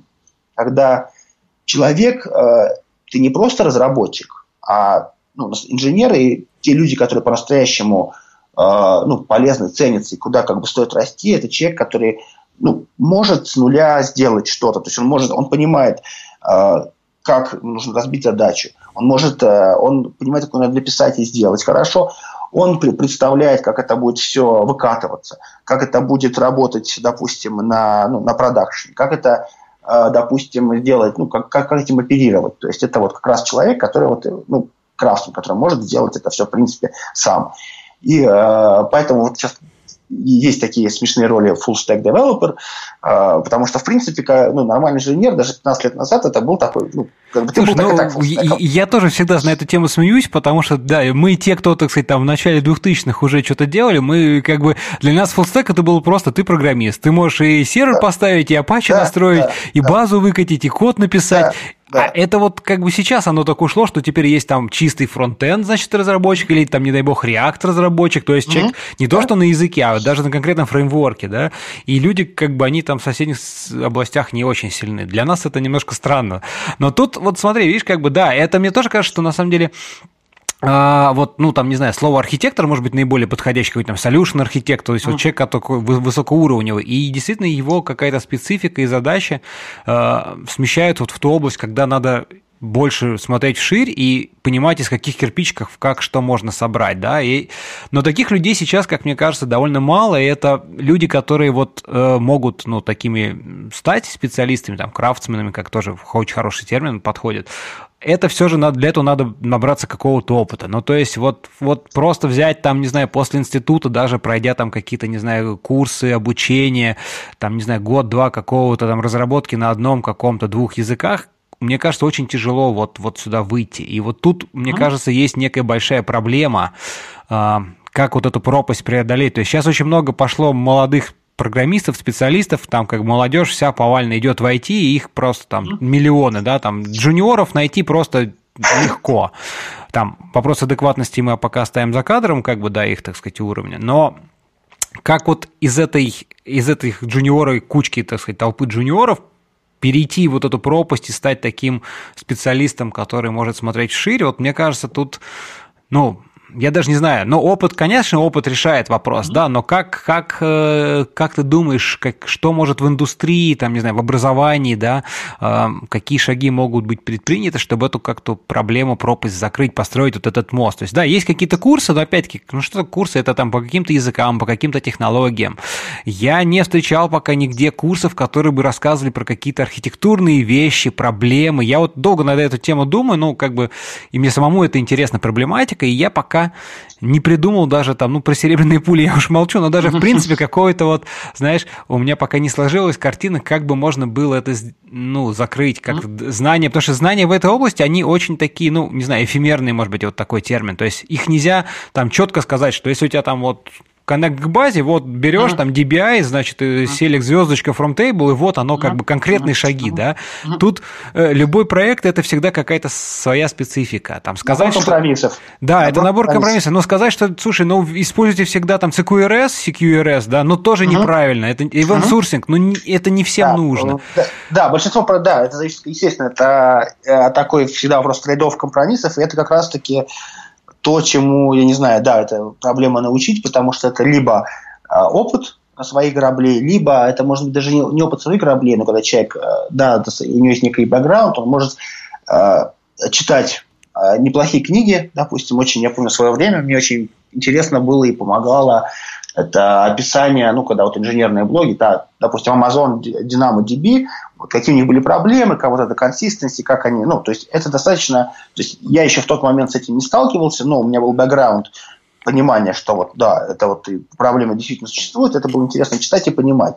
На самом деле, я даже считаю, что в наше время было немножко легче все это изучать. Почему? Потому что раньше ты действительно должен был, там, не знаю, Linux у себя поставить на компьютере, как-то его настроить, да, покопаться, почитать, а сейчас ты можешь с докером поднять себе какой-нибудь сервис, да, и тебе, грубо говоря, ну... А, Даже мало... не понимая, как оно там все внутри настроено, да, работает, вот да, в чем дело. Да, да. Вот сейчас молодежи, опять-таки, то, что я говорил, что сейчас вот этот hardware абстрагирован все больше и больше от нас, то, соответственно, ну, даже молодым людям, которым э, интересная мотивация, это делать тяжелее, потому что ты непосредственно не сталкиваешься с этим на практике. Когда тебе реально нужно вот поставить машину, на нее что-нибудь установить, накатить, подключиться к сети там, и связать одно с другим, это как бы дает понимание, что там происходит и как это работает. А, здесь э, вот сейчас с этим э, сложнее, и по сути, да, ты можешь не понять, как это работает, у тебя есть там набор инструкций, как тебе поднять environment, ты его, в принципе, подымешь. И э, это да, в этом, в этом плане проблема. Но я считаю, ну, если мы берем вообще обучение, то здесь очень много, естественно, зависит от, а, от мотивации человека, от того, что ему интересно. Как я вот говорил, есть люди, которым ну, им удобнее работать да, в своей области, в своей сфере, вот по, по плану, они могут такая вот 10-15 лет, это окей, это, ну, ну, все люди разные. Нет, такие а, специалисты тоже нужны, как бы им всегда да, найдется да, место, вопросов да, нет. Да, да. Поэтому здесь именно вопрос скорее вот э, такой мотивации внутреннего человека и хорошие, э, здоровые компании, они смотрят, да, то есть это, и, ну, это, это могут быть и люди, тем э, лиды, это могут быть и тот же самый HR, да, которые, в принципе, смотрят да, людей, кто мотивирован, кому интересно, или как вот люди, допустим, ищут спикеров внутри компании, да, тоже смотрят, кому кого-то, может, помогают, направляют. И, соответственно, какой-то момент возникает, ну, ты уже примерно, опять-таки, в компании или еще где-то появляется понимание того, кто, какой человек сам готов к этому, какой, как, ну, у кого есть мотивация, у кого есть как бы стремление к этому, да, кто, кто может последовательно более-менее как бы идти по этому пути. Потому что в любом случае ты не можешь э, ну, как-то вот взять человека и научить, потому что мы, в принципе, как-то учимся сами. Э, нам могут либо сделать условия, либо мы там можем эти условия создать себе сами. Все остальное как бы зависит от нас. Поэтому здесь э, скорее вот создать э, условия для людей и э, скорее выделять этих людей и помогать их подталкивать. Все остальное, как бы, это все равно твой путь. Ну да, да, да, как-то так. А, слушай, ну, мне кажется, эти темы уже такие, мы много чего обсудили. Давай еще, знаешь, очень хочется, я думаю, и слушателям тоже будет интересно послушать про а, некие твои хобби-проекты и увлечения. Вот, ты про них тут а, писал подробно, там, когда вел Backend Secret, uh-huh. вот, ну и статьи там на Хабре есть, мы обязательно там приложим ссылочки. Но интересно, равно все же расскажи, вот один из таких проектов, это как раз-таки совмещение такое, знаешь, а, какой-то музыки, ну, то есть творческой составляющей, составляющей, да, и каких-то вот э, таких хай-тек штук, то есть там нейронные mm-hmm. сети, вот это все. Вот э, расскажи про, про эту штуку. Ну, наверное, вначале просто скажи, что за проект, да, в общем, как бы, чтобы да, понимать. Да, проект как-то вот, во-первых, я сам занимался музыкой раньше, и, э, то есть часть моих друзей пошла по э, вот этому пути, да, то есть сейчас э, один из, вот Александр Жеделев, очень, очень хороший друг, очень талантливый человек, он композитор здесь, у него, он является музыкальным продюсером театра.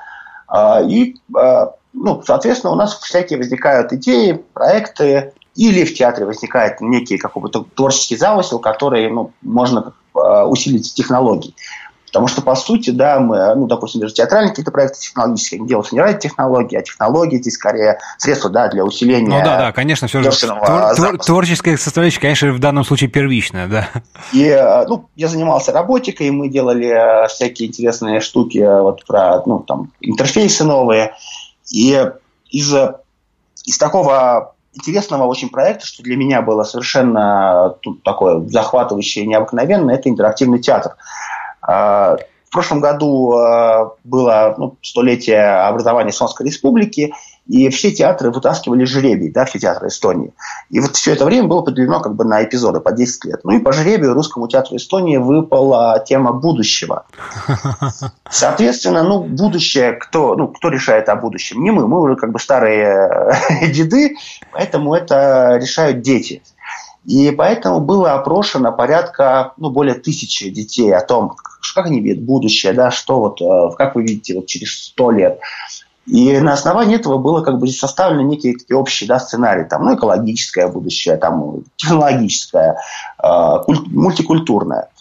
И поскольку, опять-таки, будущее, оно же не предопределено, оно зависит от наших выборов – а режиссер, вот у него было, вот как ну, а, он думал, вот как сделать такой спектакль, который был бы не завершен, не закончен. И тогда у него как бы не было понимания, что это можно сделать технологически, да, что мы можем сделать нелинейный сюжет, где развитие его будет зависеть от выбора, который делают люди. Да? То есть это собирать голоса с театра, там, строить некие вот интерфейсы, чтобы система общалась с, со зрителем. И, в общем, эта идея зародилась, и, в общем, это было нечто сумасшедшее. За две недели в отпуске мы написали всю эту систему. А, это, ну, то есть, грубо говоря, публика в театре после небольших новелл, которые, допустим, инфотехнологическая, да, утопия, а, куда погружают, э, куда погружают э, зрителей, она как бы выбирает, будет ли такое или не будет. Если не будет, то предлагается еще несколько выборов. В зависимости от этого как бы развивается сюжет, причем там были технические такие э, очень так, интересные задачи, да, то есть у нас фронтенд один проектировался просто на экран, куда вводились э, результаты голосов, где динамически собиралось аудио. То есть зрителями система общалась на естественном языке. И, э, конечно, было очень интересно видеть, как это вот все происходит, как э, психологически, психология людей, как люди понимают, что это игра, когда люди начинают поддерживать голоса, и в конце уже там туда-сюда гонять. И Здесь э, очень такой необычный опыт, который вот, ну, это театральный эксперимент, который, в принципе, в мире еще так никто не делал. И было интересно, что через полтора месяца на Netflix выходит Бандерснач, где ты с телефона тоже сюжетом Да, да, да, да. Но это самые ближайшие аналогии, которые, я думаю, всем так как бы привычны, что действительно Netflix запустили фильм, который тоже ты, ты хотя вроде как бы зритель, но ты участвуешь в процессе, да, и ты там можешь, значит, выбрать, как, как бы, куда будет развиваться. Слушай, я так понимаю, значит, ну вот, да, но то, что выпало будущее, это, мне кажется, вот прям вообще вообще такое это... Ну да. Наверное, предрешило вот как бы всю, все дальнейшее развитие. Но, смотри, вот вы опросили, да, насколько у вас много было веток, то есть как вот вы это все...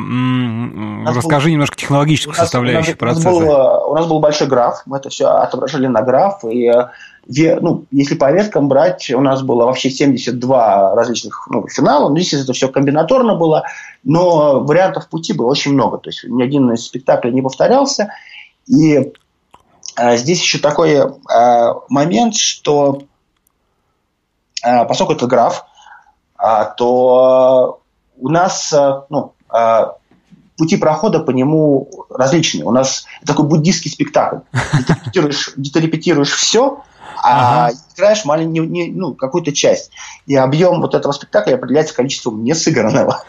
А, и, и время, время, да, у нас время варьировалось от полутора часов до почти четырех, то есть были спектакли.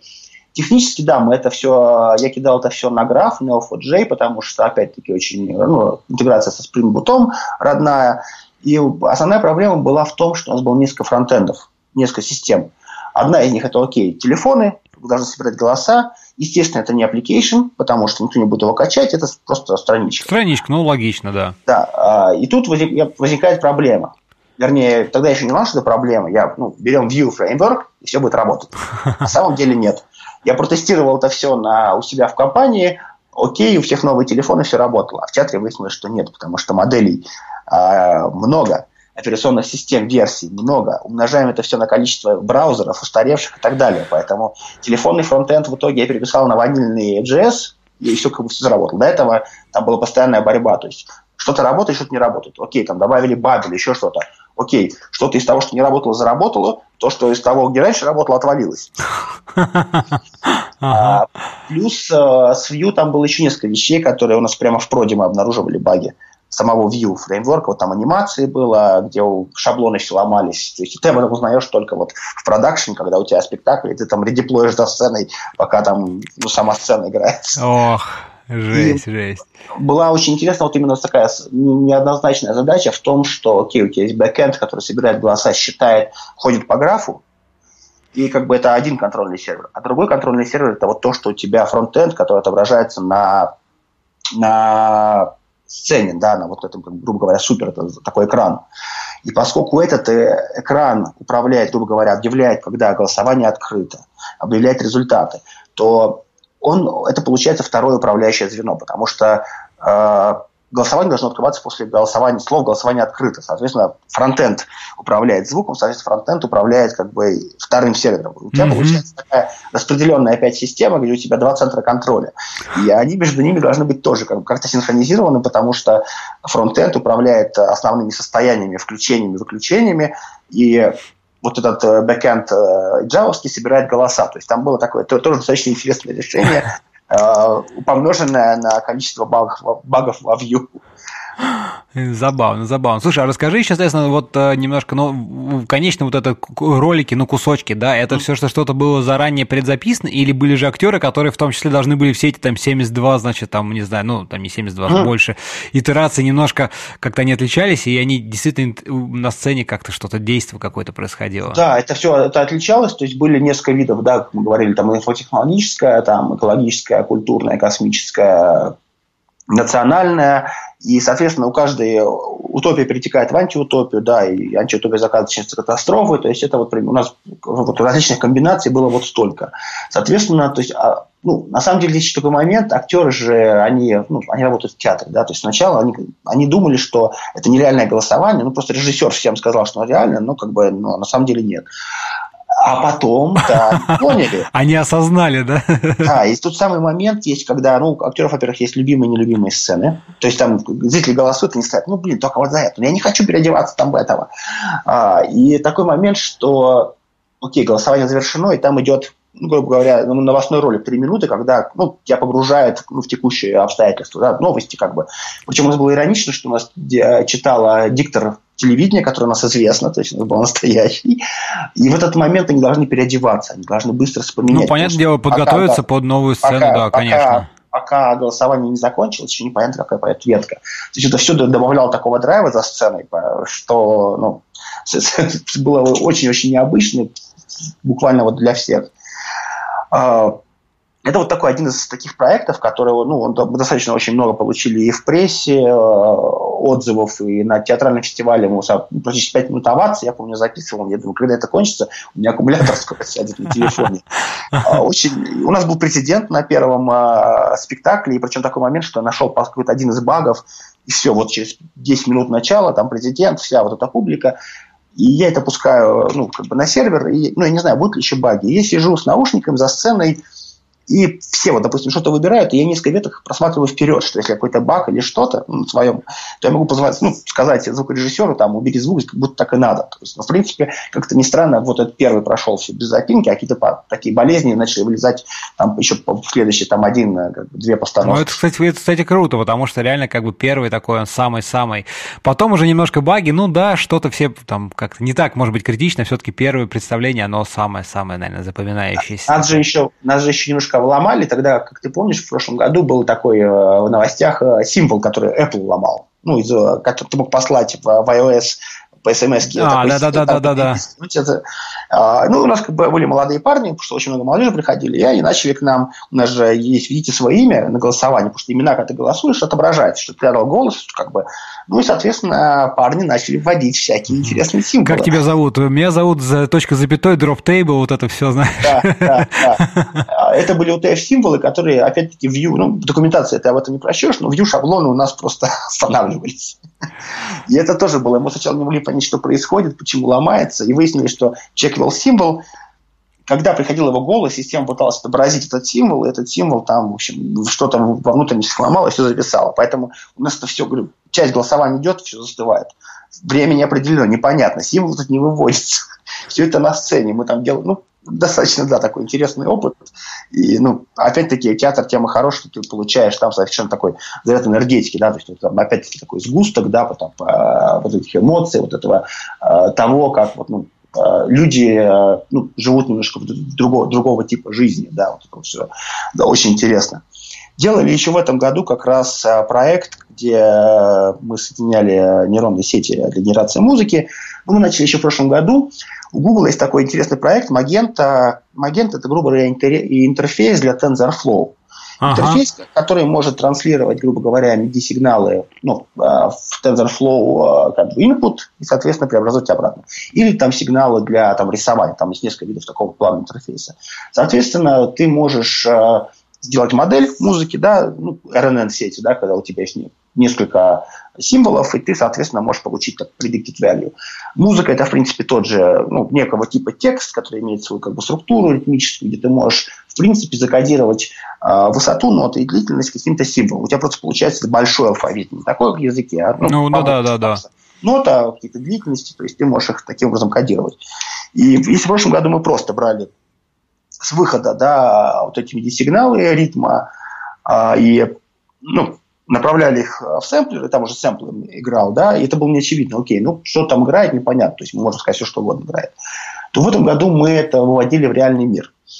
А, причем там есть такой момент, что ну, система с собой работает по такому принципу, что ты даешь, ну, как вот какая-нибудь, не знаю, там, генератор речей Трампа, да, веселый. Ты даешь какую-то затравочку, и она тебе в таком типе пытается продолжить.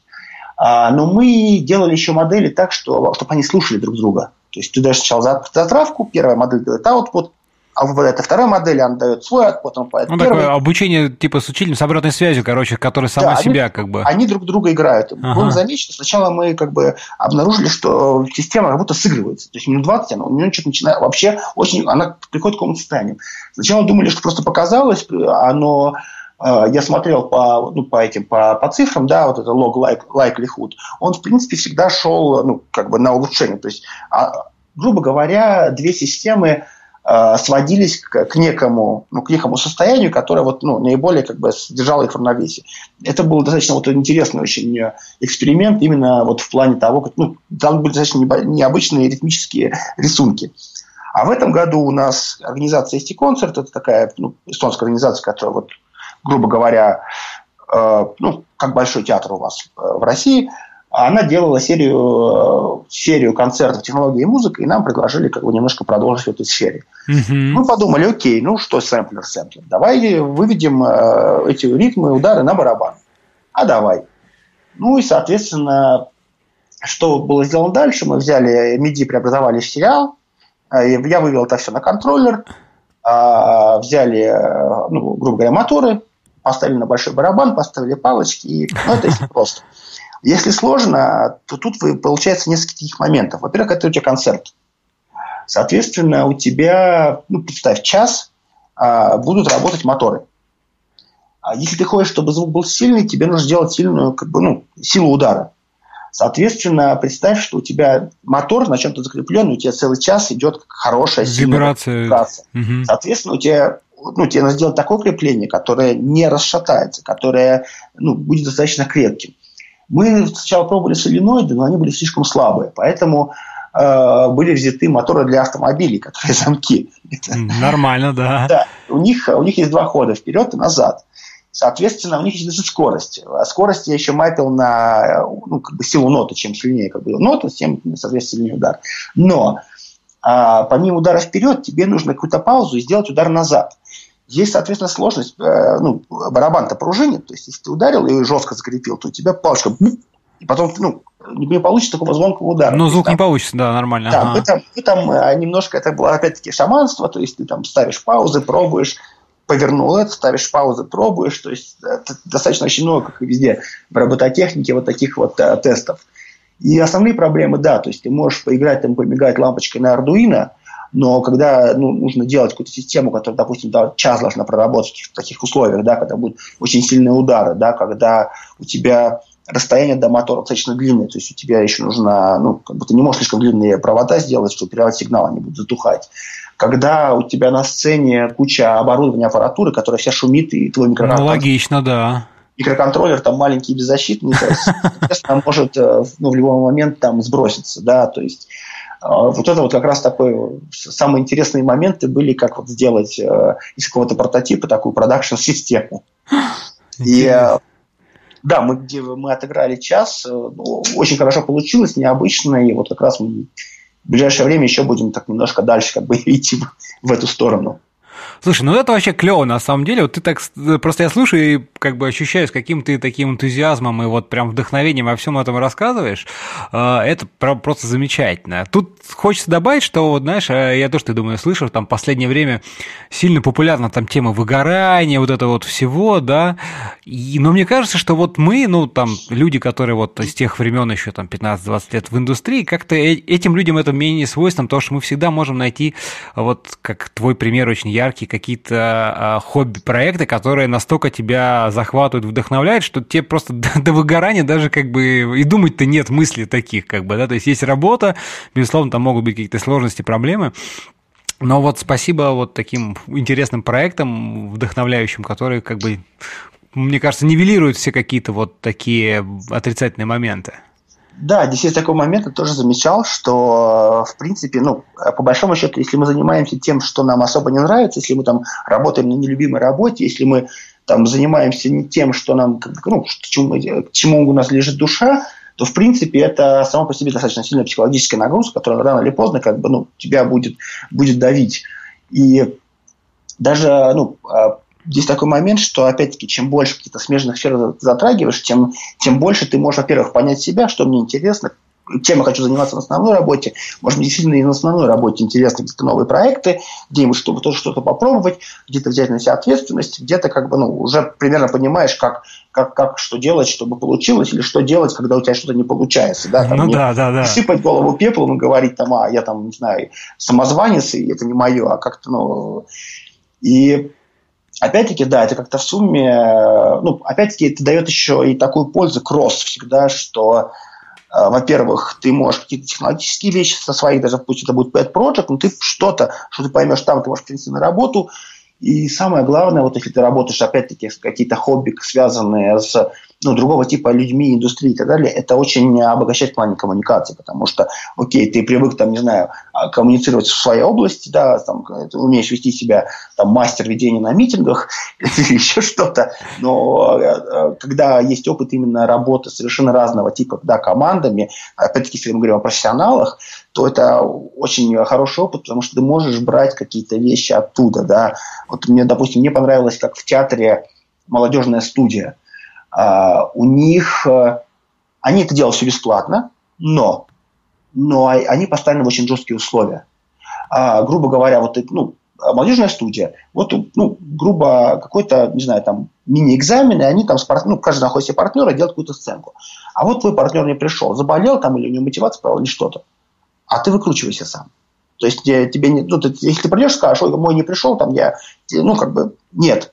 Не пришел, не знаю, расскажи один, покажи что-то.